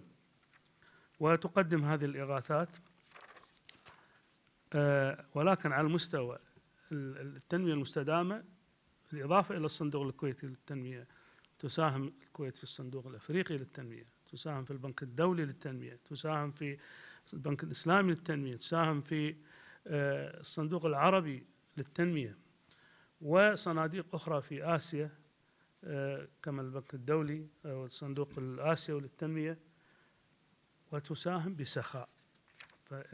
كما ذكر آه، الأخ إبراهيم صالح التكريم ما جاء مجاملة للكويت وإنما لأرقام ولتواجد مرئي. بالنسبة لجمعية العون اختارت إفريقيا لأنها كما تعرفون يعني مركز مع الأسف للكوارث الطبيعية والبشرية. فالقارة فيها 750 مليون نسمة وفيها أكثر من 20 مليون لاجئ لأسباب كما ذكرت طبيعية أو وبالرغم من أن كونها قارة زراعية بامتياز إلا أن استيرادها من المنتجات الزراعية سنويا 30 مليار بقيمة 30 مليار. فالقارة ضعيفة وأحكمت الديون قبضتها عليها فأصبحت آه، يعني كل مواردها الزراعية مرتهنة لسداد تلك الديون. هذا أدى بالتبعية إلى زيادة دور الجمعيات ال- آه، اللاربحية أو الغير حكومية للتواجد ليست العربية أو الكويتية فقط كثير المؤسسات اليوم موجودة هناك آه، وحتى مؤسسات من داخل الدول يعني تشجع على إنشاء جمعيات متخصصة. ما راح أعيد على دور الكويت في أفريقيا لأن ذكر آه، أخي آه، أبو حمد لكن راح أتكلم عن جمعية العون نفسها. جمعية العون بدأت عام 83 آه، بادر آه، دكتور عبد الرحمن السميط رحمة الله عليه عقب ما قام بجولة في رواندا وبعض الدول فكان يسأل عن الاحتياجات شاف شيء يعني لا يوصف. يعني قرى خالية الكل مات من الأمراض. وكل اللي يطلبونه منهم يقولون بس تعالوا ساعدونا ندفن. عرفت كيف؟ فانهز انهز من هذا الأمر فقال لا خلاص أفريقيا وبس. كافية يعني إذا رأى رأى الهياكل العظمية رأى رأى الكوارث هذه. فبدأ في العمل وتضافرت معه جهود آه، فريق جيد من الكويتيين ومن المتبرعين والمتبرعات. حقيقة لولا فضل الله ثم مساندة أهل الكويت يمكن ما وصل العمل إلى ما وصل إليه في أفريقيا.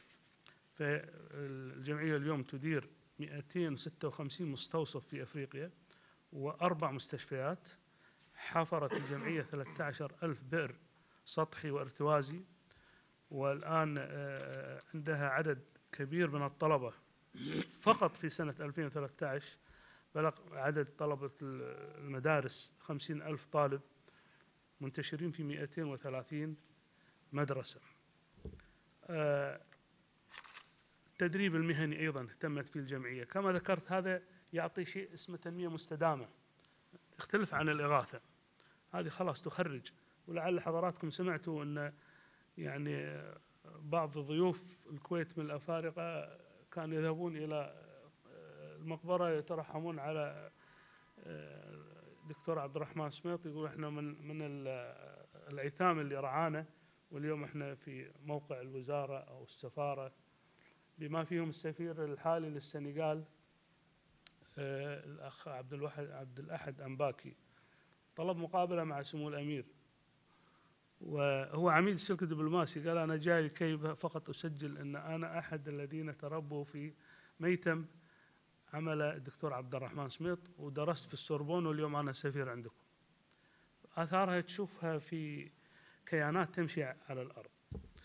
ال- مؤخرا الدكتور عبد الأخ عبد الرحمن الدكتور عبد الرحمن المحيلان رئيس الجمعية حاليا في الصومال وكان حضر افتتاح جامعة الأمة أيضا أنشأتها الجمعية في 23 سبتمبر الماضي آه، وحضر نائب رئيس الجمهورية يعني معلم وصوره موجودة آه، وحضرت مجموعة من الدبلوماسيين. وكان حفل الحقيقة اسم الكويت فيه كان يرن في وسائل الإعلام الكينية لأن هناك جامعة تخدم عشرة آلاف طالب آه، هذه مخططها الآن للأربع سنوات القادمة. وهي يمكن ال- ال- الوحيدة من بين 67 جامعة في البلد. البلد فيها تعليم عالي في كينيا. لكن آه، كلها ممولة من الكنائس يعني لها رسالتها تبشيرية آه، فهذه صايرة الجامعة الوحيدة اللي تخدم المجتمع المسلم. هذا ما يغير في أن مشاريع اللي مريت عليها المياه والكذا ما ما يتم فيها توجيهها لي حسب الجنس أو الدين أو غيره. فمثل ما ذكر الأخ إبراهيم الصالح ما يسأل واحد لما يريد يشرب ماء أو يدخل علاج العيون ما هو دينك. لكن أنا أشرت لأن هناك يعني كمية كبيرة من الجامعات الوحيدة اللي جاية من العالم العربي ومن الكويت عن طريق جمعية ال- العون. والحمد لله على مستوى آه، كبير في زمالة بينها وبين جامعة آه، متخصصة.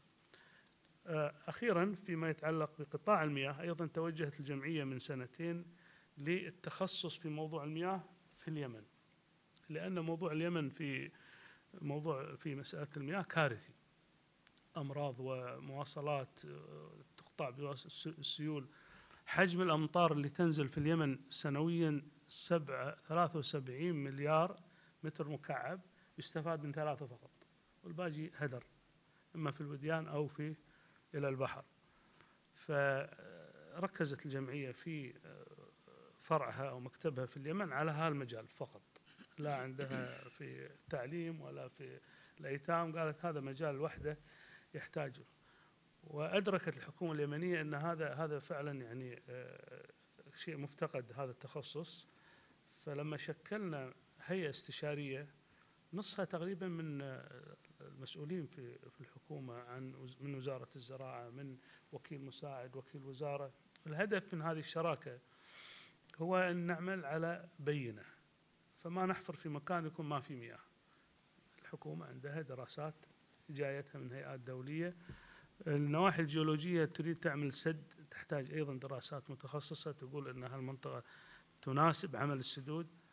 فهذه نقلة في مستوى العمل الإغاثي أو التنموي اللي طابعه مستديم ويعيد الناس لأن في هجرة دائما من الأرياف إلى المدن بسبب نقص المياه. والعكس صحيح. لأن هاي مناطق أساسا زراعية لكن نقص المياه أدى إلى هجرتها والعكس عندما آه، شو اسمه فتتنوع المشاريع ما بين حفر بناء سدود نقل بسيارات نقل بالتمديدات. يعني آخر مشروع نفذناه في سقطرى فيها كهف ضخم مليان مياه حلوة من آلاف السنين لكن القرية ما تستفيد منه لأنه في منطقة وعرة. فنفذ المشروع بالتعاون مع الصندوق الكويتي فقط لإسالة المياه. مجال المياه مجال جدا جميل ويشعرك بال- بالأثر التنموي أيضا دخلت فيه الجمعية.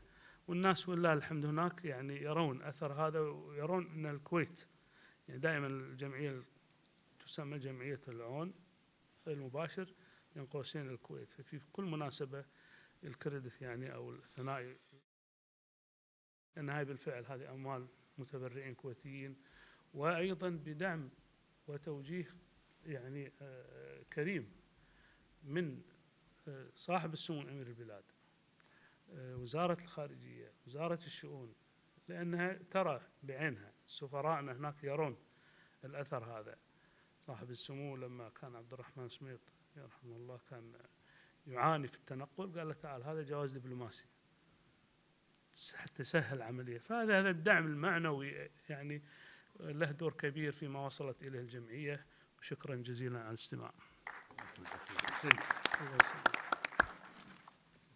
نشكر الأستاذ فيصل الزامل عضو مجلس إدارة جمعية العون المباشر على ما تفضل به بإيضاح مشاريع الجمعية الخيرة العامرة التي تبرز التنمية المستدامة وبالفعل هذه المشاريع مكنت المستفيدين والأهالي في قارة إفريقيا خاصة بين كسب أو التحصيل العلمي وعلى مستوى جامعات أنشأت فهذا الحقيقة مفخر الكويت أن تصل إلى هذا المستوى من العطاء الإنساني وأيضا المشاريع التي تتفضل بها آه، في شأن المياه مصدر الحياة حيث فعلا تكلم عن مشاريع كثيرة في اليمن وإفريقيا أوصلوا من خلالها المياه وتصريفها وتقنين مشاريع المياه إلى كل المحتاجين.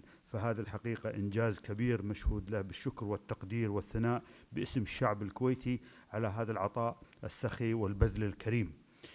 آه، خاصة كما سبق وقلنا أنه قام على أيدي بيضاء من أهل الكويت المتطوعين آه، الباذلين جهد ومال لإنجاز هذه المشاريع الضخمة المشرفة.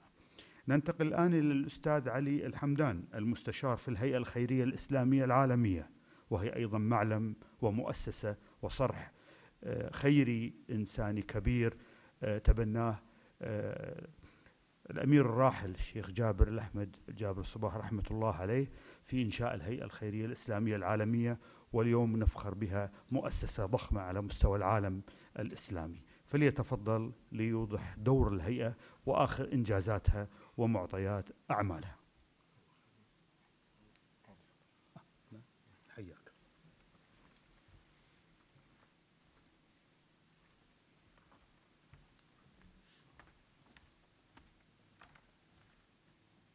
بسم الله والحمد لله والصلاة والسلام على رسول الله محمد وعلى آله وصحبه وسلم.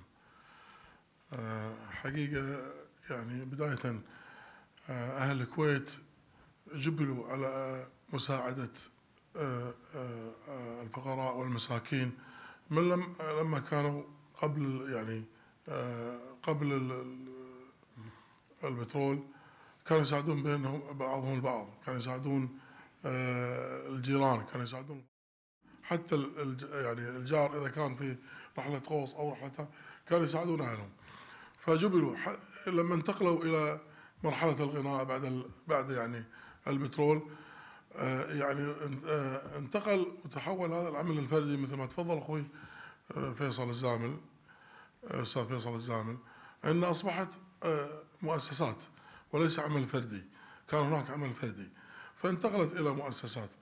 هذه آه، المؤسسات ابتدت ومثل ما تفضلوا أيضا ب آه، يعني آه، فكرة من الشيخ جابر رحمه الله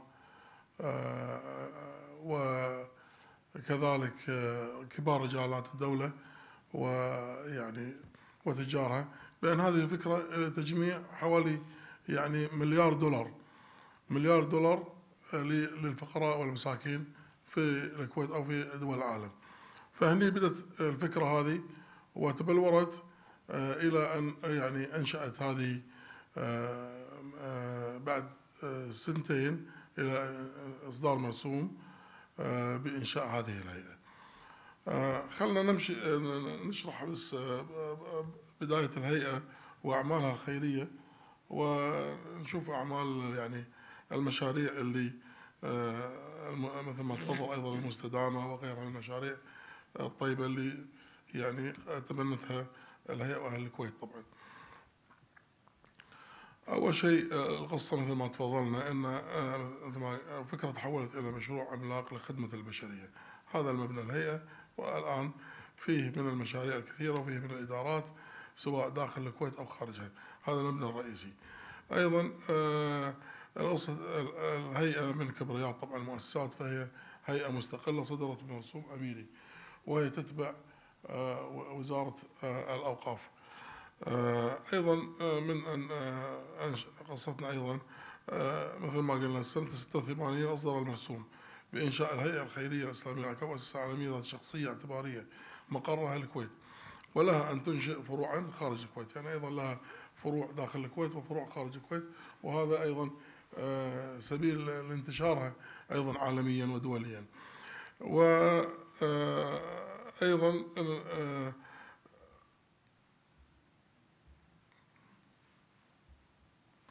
أيضا قام الشيخ آه، صاحب السمو أمير البلاد صباح الأحمد حفظه الله بدعم مشاريعها وتوجهها إلى اغاثه المنكوب والشردين جراء الكوارث الطبيعية والحروب في باكستان وإندونيسيا إلى دول العالم كلها. دعم كان من من من حكام الكويت كلها جميعا وانتهى الآن. ما زال الدعم في آه، الشيخ صباح حفظه الله. رؤيتنا الريادة في العمل الخيري الدولي المشترك. ريادة آه، ورسالتنا أيضا تحقيق عالميه العمل الخيري من خلال التميز في مشاريع التنمية الهادفة إلى تمكين المجتمعات ورفع قدراتها الذاتية وعبر المساهمة في البناء المؤسسي للجمعيات والمنظمات العاملة. أيضا آه، قيم عملنا التنمية مشاريع التنمية المؤسسية أن نعمل كمؤسسة الشفافية الوضوح التواصل بيننا وبين الآخرين الاحتساب لله سبحانه وتعالى في هذا العمل الخيري. أيضا مجالات عملنا المجال الأول التواصل وشؤون المتبرعين ما يخالف أنا قاعد أمشي بسرعة آه، عشان الوقت وعشان نلحق على الصور في فيديو إن شاء الله. المجال الأول التواصل وشؤون المتبرعين المجال الثاني الاستثمار وتنمية الموارد. عندنا أيضا استثمارات. عندنا تينا أوقاف نستثمرها. عندنا أموال أيضا آه، آه، متجمعة تم فيها شراء مثلا عقارات ومن خلالها تستثمر أيضا للمسلمين. المجال الثالث التنمية والإغاثة. الإغاثة الحين تشوفون إن شاء الله آه، مشاريع التنمية ويمكن تستغرب من من بعض مشاريع التنمية. آه، وأعتقد أن البعض يمكن ما سمع عن هذه والإغاثة أيضا في كل مجالات الإغاثة في جميع أنحاء آه، العالم في أفريقيا في آسيا في وهي لها ريادة في المشاريع والآن إغاثة سوريا أيضا. المجال الرابع الإعلام والتسويق العلاقات المحلية. هذا مجال عملنا أيضا التنمية البشرية والأداء المؤسسي.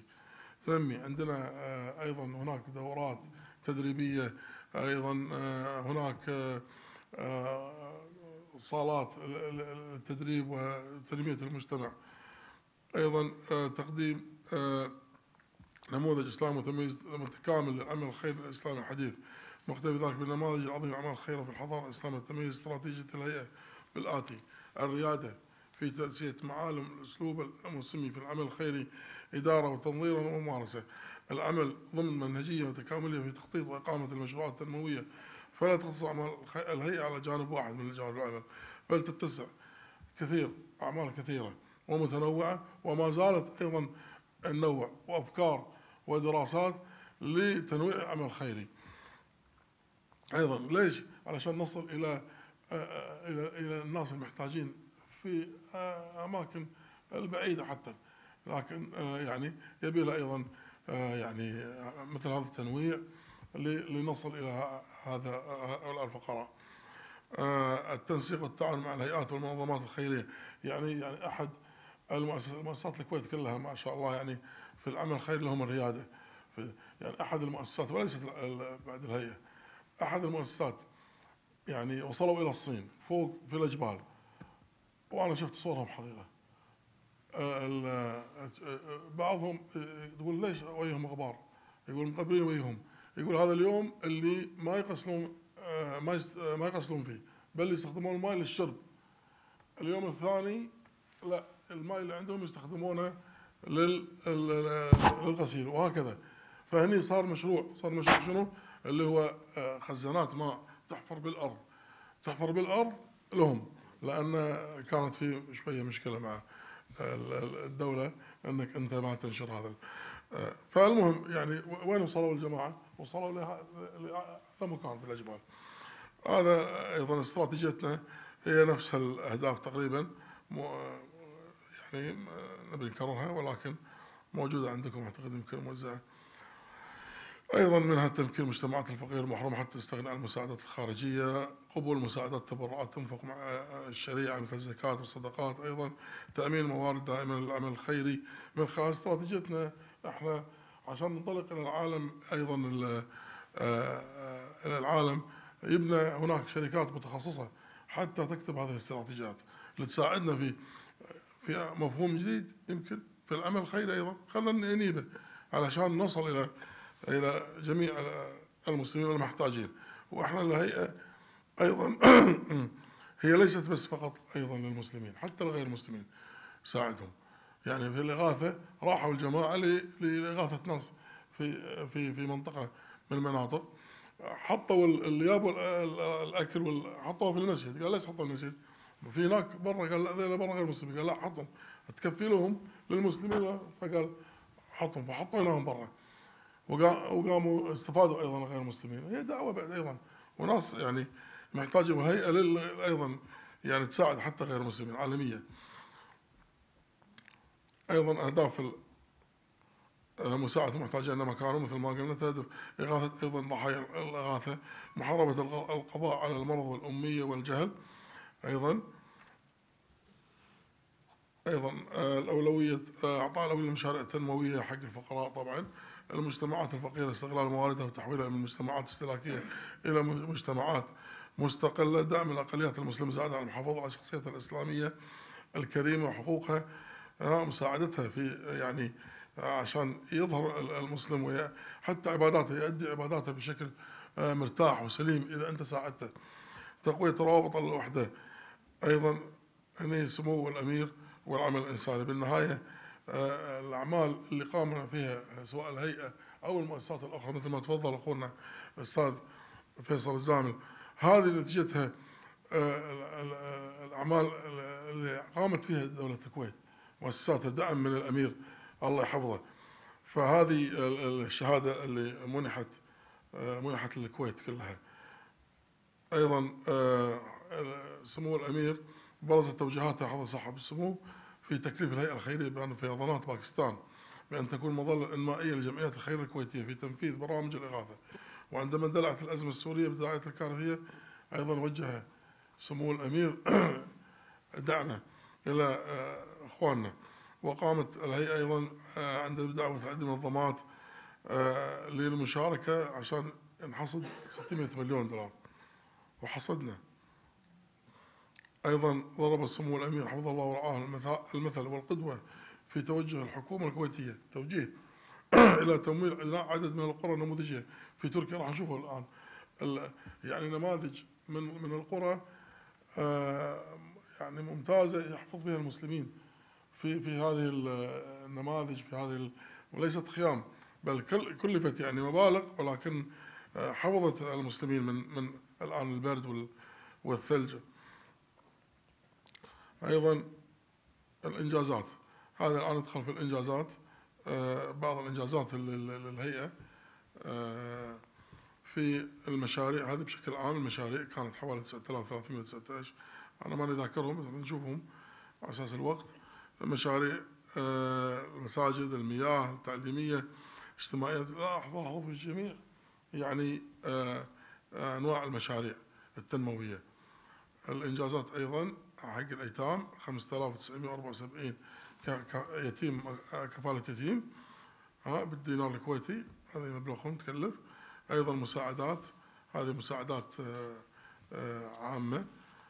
10000 أيضا الدعوة والتعليم. هذه بعض المساجد اللي انبنت في دول أفريقيا وآسيا. هذه المساجد. من الإنجازات. اللي ذكرنا بعض المساجد اللي مساع. فيها مدارس تعليم. هذا بئر. الآبار وهذا أيضا مسجد و وأماكن وضوء أيضا آه هذا بئر هذا بئر يدوي. أكو بئر يعني على حسب الإمكانيات. في بئر يدوي وفي بئر آه يعني كهربائي وعلى حسب أيضا مدة البئر أيضا.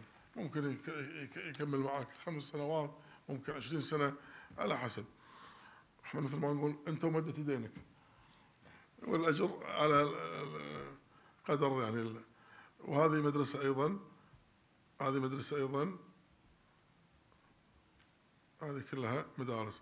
أيضا من الإنجازات وحدة التنمية المجتمعية. هني اللي أقول لكم الآن في أشياء يعني يمكن الإنسان بعض ما مرت عليه.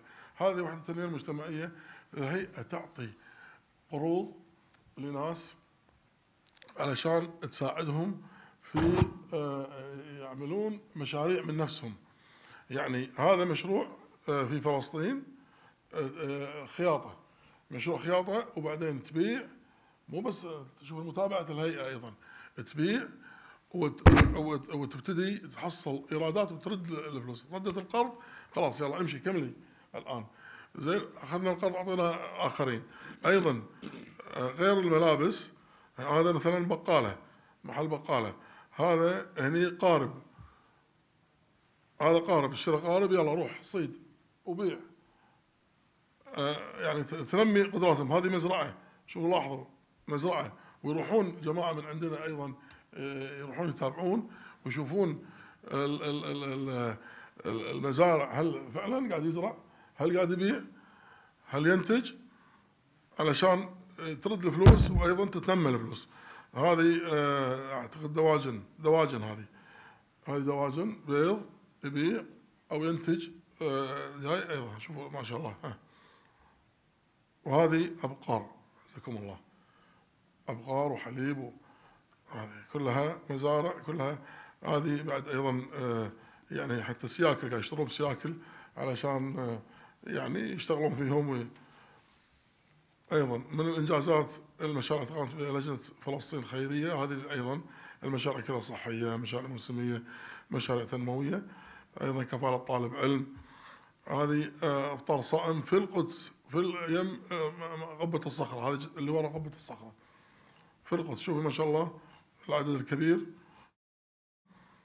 من المسلمين هني آه، أيضا آه، وحدات آه، صحية قاعد يفحص. هذه أيضا آه، مساعدة البيوت اللي ضررت هذه أيضا في فلسطين. البيوت اللي ضررت واللي انهدمت أيضا هناك مساعدة آه، لها. هذه كلها مساعدات البيوت ترميمها. كلها ترميم البيوت هذه آه، سيارة آه، أسعاف يعني أسعاف متنقلة. مساعدة أسعاف متنقلة. يعني جميع الأنواع وهذا أيضا العقيقة واللحم يتوزع حق الفقراء والمساكين المحتاجين وهذه مشاريع أيضا الإغاثة كلهم الإغاثة وتتوزع هذه قاعد توزع الإغاثة في بيت مهدوم عشان يعني تشوف انه حتى في البيت المهدوم ساكنين فيه أيضا وصلت لهم الإغاثة. وهذه أيضا كلها وهذه تركيب آه، أطراف صناعية حق ال- المحتاجين أطراف صناعية. أيضا آه، هذه البرامج الإغاثية كانت في سوريا في الصومال في إغاثة باكستان اليمن كلهم. الدول هذه أيضا هناك إغاثة برامج إغاثية كلها. هذا أكل يتوزع مجموعة من آه، سلة تحتوي على آه، أنواع كثيرة من الأكل المحتاجينها حسب كل دولة وتتوزع والشباب هناك يروحون. هذا الدكتور عبد الله معتوق رئيس الهيئة الحالي. يروح يكشف أيضا. هذه البيوت اللي كانت في في خيم الزعتر في تركيا. هذه في تركيا.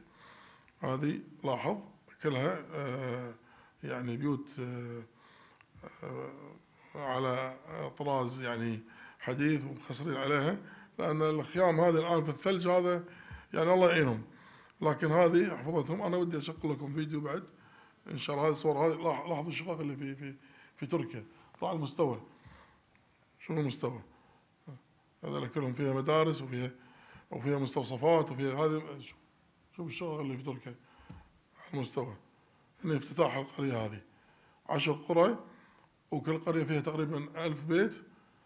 آه، يعني بعد ما خلصوا بعد قاعد مستمرين إن شاء الله. كلها بدعم آه، الدولة ودعم فضل الله ثم أيضا سمو الأمير الشيخ صباح. الله يحفظه هذه كلها افتتاح على مستوى. شوفوا هذا. هذه المباني كلها مع الشقق هذا الجماعة لما راحوا نقصر الشيء شوية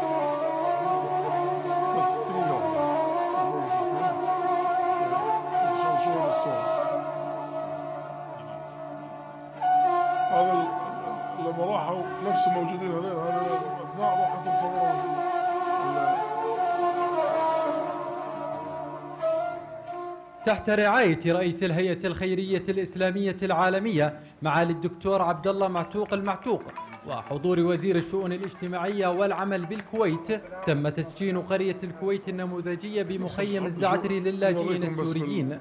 وجاء هذا العمل بمكرمة أميرية سامية مقدمة من حضرة صاحب السمو الأمير صباح الأحمد الجابر الصباحة حفظه الله ورعاه والتي تشمل ألف وحدة سكنية استفاد منها ستة آلاف لاجئ سوري. إن الدور الكبير الذي يقوم به أشقاؤنا من دولة الكويت الشقيقة ممثلة بأميرها حفظه الله وشعبها وحكومتها. له دور كبير خير ويبدو ذلك جليا من خلال احتفالنا هذا اليوم بافتتاح القرية الكويتية النموذجية الشاملة في مخيم الزعتري. في إطار عدد من البرامج والمشاريع الإغاثية التي تحرص دولة الكويت على تنفيذها مؤازرة للأشقاء السوريين وتضامنا معهم وسعيا لتخفيف حدة المحنة التي ألمت بهم. وتتألف القرية من ألف وحدة سكنية ومركز طبي ومسجد ومدرستين واحدة للطلبة وأخرى للطالبات. ونحن في الكويت إذ يطيب لنا أن ندشن هذا المشروع ونقدمه هدية لأشقائنا السوريين. نعرب عن مشاركتنا لهم في الألم ونؤكد سعيا معهم من أجل تخفيفه والعمل على زواله. كما نشاركهم أيضا الأمل في أن يعودوا إلى ديارهم ووطنهم. آمنين سالمين. إخواني أخواتي أنتم تعلمون أنه يقف خلف كل عمل عظيم رجل كبير. واسمحوا لي أن نتقدم بكل الشكر والعرفان والامتنان لحضرة صاحب السمو الشيخ صباح الأحمد الجابر الصباح أمير دولة الكويت حفظه الله ورعاه. لتحمله شخصيا. تكاليف هذه القرية في مسعى يعكس إحساسه الإنساني النبيل بحجم الأزمة وتداعياتها الإنسانية. وجدير بالذكر أننا في شهر أكتوبر من عام 2013 افتتحنا مشروعا مماثلا في مخيم الزعتري ويضم أيضا ألف بيت جاهز. وفي شهر يونيو من هذا العام نفسه وفقنا الله سبحانه وتعالى وافتتحنا قرية الكويت النموذجية في منطقة كلس التركية وتشتمل على ألف بيت جاهز وأربع مدارس ومسجدين ومركزين طبيين. وهذا ما عندنا وجزاكم الله خير. نشكر الأخ الأستاذ علي الحمدان المستشار في الهيئة الخيرية الإسلامية العالمية على إيضاح دور ونشاطات وإنجازات الهيئة وما تم افتتاحه من مشاريع مؤخرة. الحقيقة الآن نعطي المجال لضيوفنا الكرام في التفضل بإبداء أي أسئلة أو تعقيبات أو استفسارات. تفضل. بسم الله الرحمن الرحيم. عبد الله الحيدر من بيت الزكاة. أهلا وسهلا. آه أنا الحقيقة اليوم يعني أول شيء بشكر بالفعل المجلس الوطني للثقافة والآداب أعطانا جرعة خيرية ثقافية كنا نفقدها. صراحة نحتاج يعني أنا أعتقد حتى هذا ال يعني الندوة لها تغطية كبيرة في الصحافة تغطية كبيرة أيضا في الإعلام. هذا جانب. اليوم بس ودي أسأل أستاذ فوزي كثير من الأحيان إحنا لما نسافر أنا شغلي في العمل الخارجي فنشوف ما شاء الله مشاريع لصندوق الكويتي للتنمية. كأن في منهج جديد أنه ممكن التعاون مع جهات خيرية أهلية. لأني أنا مثلا رحت الصين شفت جمعية من الجمعيات الكبرى صندوق الكويتي للتنمية سوى لهم مشروع فكيف ممكن خلينا نفترض الجهات الحكومية الخيرية كبيت زكاة يستفيد بالتعاون مع صندوق الكويتي للتنمية بحيث نعمل مشاريع ضخمة. إحنا الآن عمرنا 30 سنة في السوق أو في العمل الخيري ممكن نتعاون معاكم. هذا جانب. جانب ثاني ودي يعني أنا شفت لكم تصريح يعني عن صندوق أنه قدم مساعدات للأردن لصالح اللاجئين وحصل فرصة أني أشوف المشروع عبارة عن مثلا مجموعة مستوصفات مجموعة مباني متخصصة نوعا ما لصالح اللاجئين. كيف يمكن حنا كجهات خيرية نعرف كيف استثمر هذا المشروع؟ باعتبار كثير من الأحيان مع الأيام قد نتناسى جهد دولة الكويت في هذا الموضوع. شكرا. شكرا لك شكرا. شكرا. طبعا بالنسبة للسؤال الأول بما تفضلت فيه أن كصندوق كويتي إحنا مؤسسة تعمل حكومية بحتة. وطبعا ندعم ال NGOs من خلال مشاريعنا البنية التحتية الأساسية. يعني على سبيل المثال بأن إحنا نحاول أن نوفر الاتصالات لكي ال NGOs ممكن والقطاع الخاص ممكن أن يكون هو متحرك. نمد الطرق عندنا ال sewage الصرف الصحي والمياه. طبعا من الصعب كصندوق الآن في هذه المرحلة أن يكون يعني بتمويل مشترك مع ال NGOs دائما إحنا مع الحكومة المعنية. ومن خلال هذه الحكومة بأن هناك مشاريع كثيرة. أن ال NGOs يكونون ممكن آه، يعني يتطلعون على المشروع الطريق. إذا كان الطريق من آه، من الديرة إلى فحيحيل على سبيل المثال ال NGOs يكونون مترقبين هذه الفرصة بأن هذا مد الطريق اللي قام فيه الصندوق أن يكون آه، عندهم مشاريع بالحجم اللي هو ممكن ال NGOs يسوونه. بما تكلم بموضوع الأردن وطبعا هي تكلم المنحة قدمت للأردن ولبنان آه، وسوريا وطبعا هي المحاولة لدعم آه، اللاجئين آه، بطريقة عدم لجوءهم للاستقرار في هذا المكان. يعني كثير من الناس يقولون ليش ما ركزتوا على بناء منازل؟ موضوع منا... البنية التحتية اللي حاولنا إن إحنا آه، ندعم البنية التحتية لكي آه، مرحليا ونجعل لهذه آه، الدولة أن أن لا تؤثر النازحين لا يؤثرون عليها ولا نجعل من النازحين إنهم ممكن يستقرون في في الأردن على سبيل المثال كسوريين إذا حصل حصل له بيت وشعر إنه هو مرتاح من هذا البيت العودة ممكن أن تصعب عليه فلذلك نحاول قدر استطاعتنا بأن إحنا آه، نوفر له البنية التحتية آه، لكي نسعف اللاجئ ونسعف الدولة المستضيفة لهذا اللاجئ. سؤال آخر تفضل. آه، محمد حج العنزي محامي سعودي وعضو الرابطه العربيه للثقافة والفكر والأدب في دبي. أستاذ فوزي أستاذ فيصل الزامل السؤال يوجه حقيقة وأشكر الأخ الحمدان على ما تفضل به لا شك أننا دول الخليج دول نفطية و يعني دول غنية و الجمعيات الخيرية والنفع العام يعني يعني أرى أنه يجب أن تعيد دراسات يعني استراتيجيتها.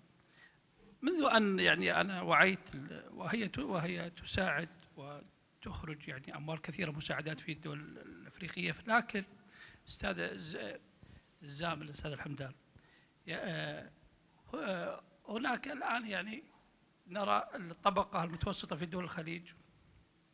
يعني لو كان هناك مركز خيري خليجي ينظر إلى هذه الطبقة ويكون يعني يعني الاهتمام بالمواطن الخليجي هناك امور كثيره يعني اصدرت للخارج ومن انطلاقا من التعاون على البر والتقوى. نعم.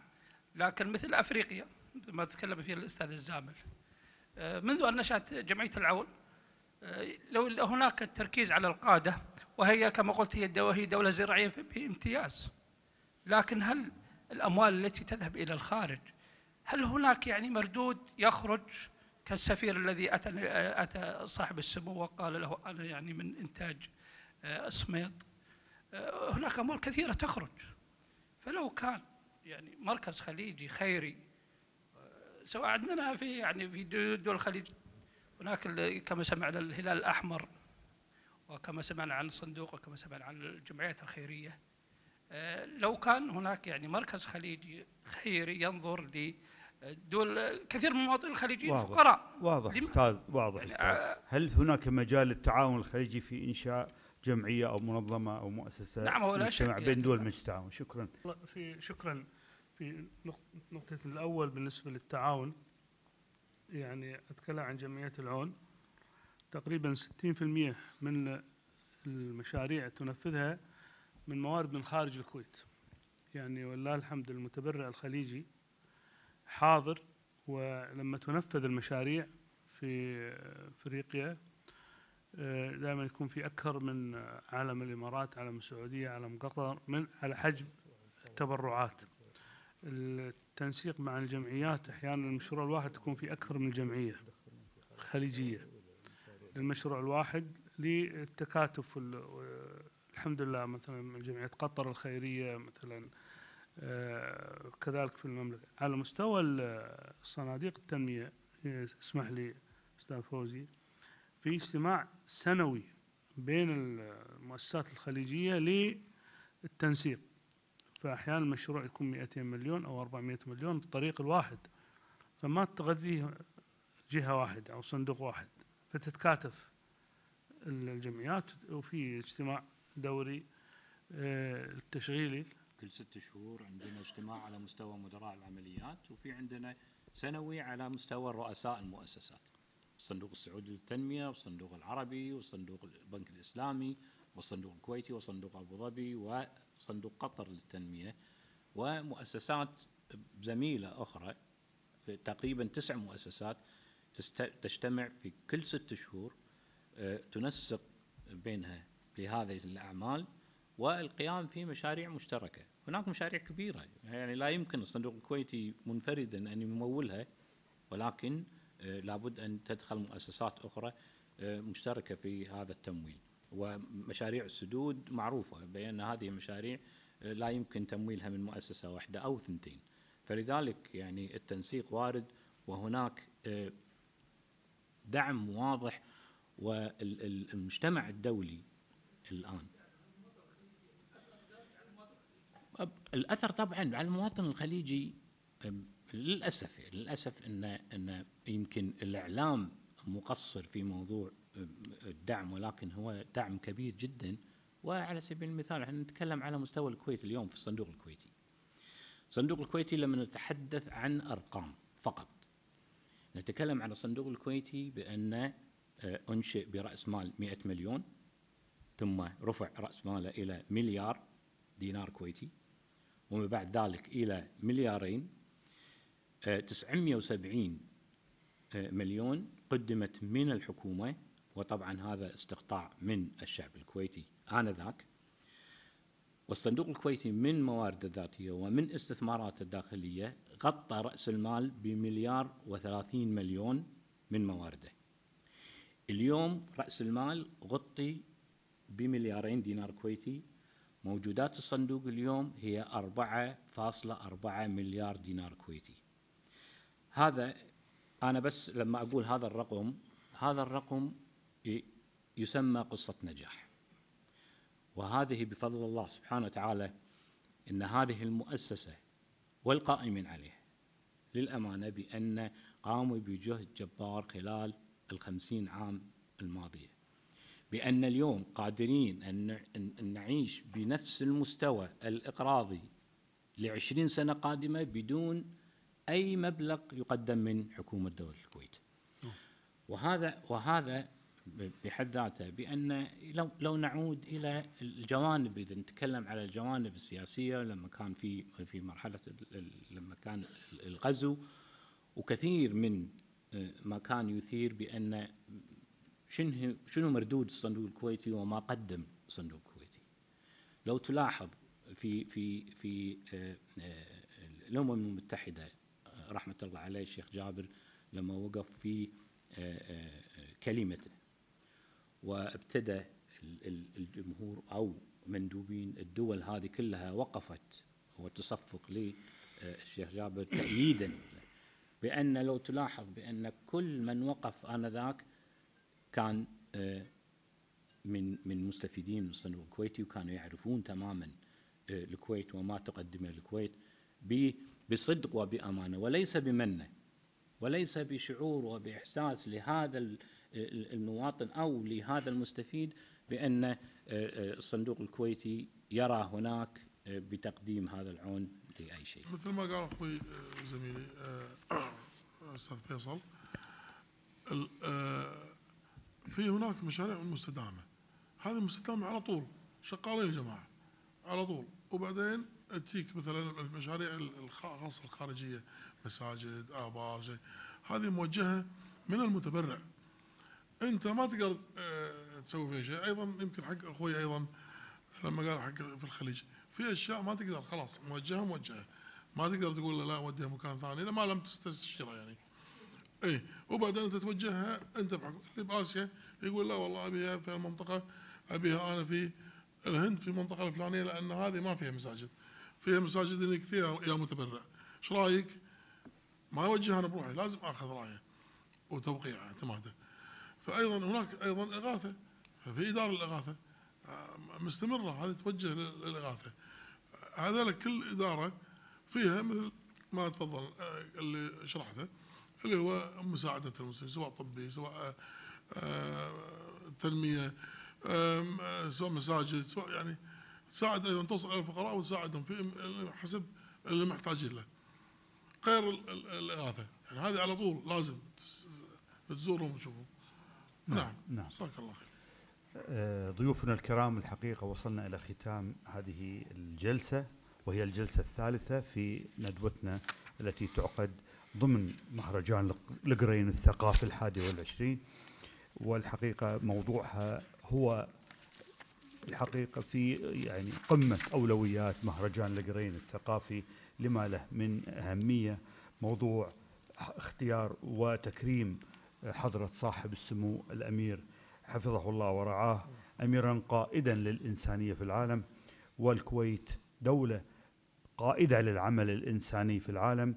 هذا التكريم والتشريف آه، أراد مهرجان القرين الثقافي أن آه، الحقيقة يوثق هذا العمل من خلال دور المؤسسات والهيئات والجمعيات الحكومية والأهلية التي تنادت دائما في العمل الخيري والإنساني.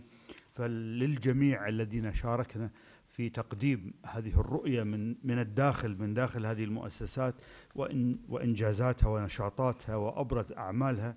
لهم منا كل التقدير والشكر والثناء على ما تفضلوا به.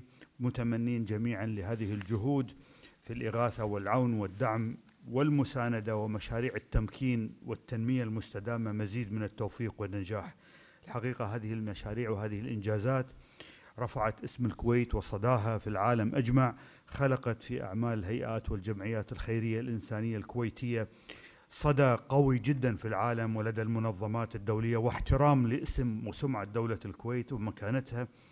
وهذه القناعة التي ترسخت بدور الكويت السياسي الفعال هي التي خطت نهج السياسة التي يرعاها حضرة صاحب السمو الأمير حفظه الله ورعاه باختيار سياسة جديدة في العالم سياسة التعاون والوفاق والتضامن الأممي وهذا الحقيقة ينقص كثير من الدول في توجهاتها السياسية التي ربما تلجأ إلى الانحياز ربما تلجأ إلى آه، الانضمام إلى أطراف في كوارث وحروب وأزمات ولكن للكويت خطها السياسي الذي يحترم في الحياد والاتزان والاتفاق والشراكة العالمية.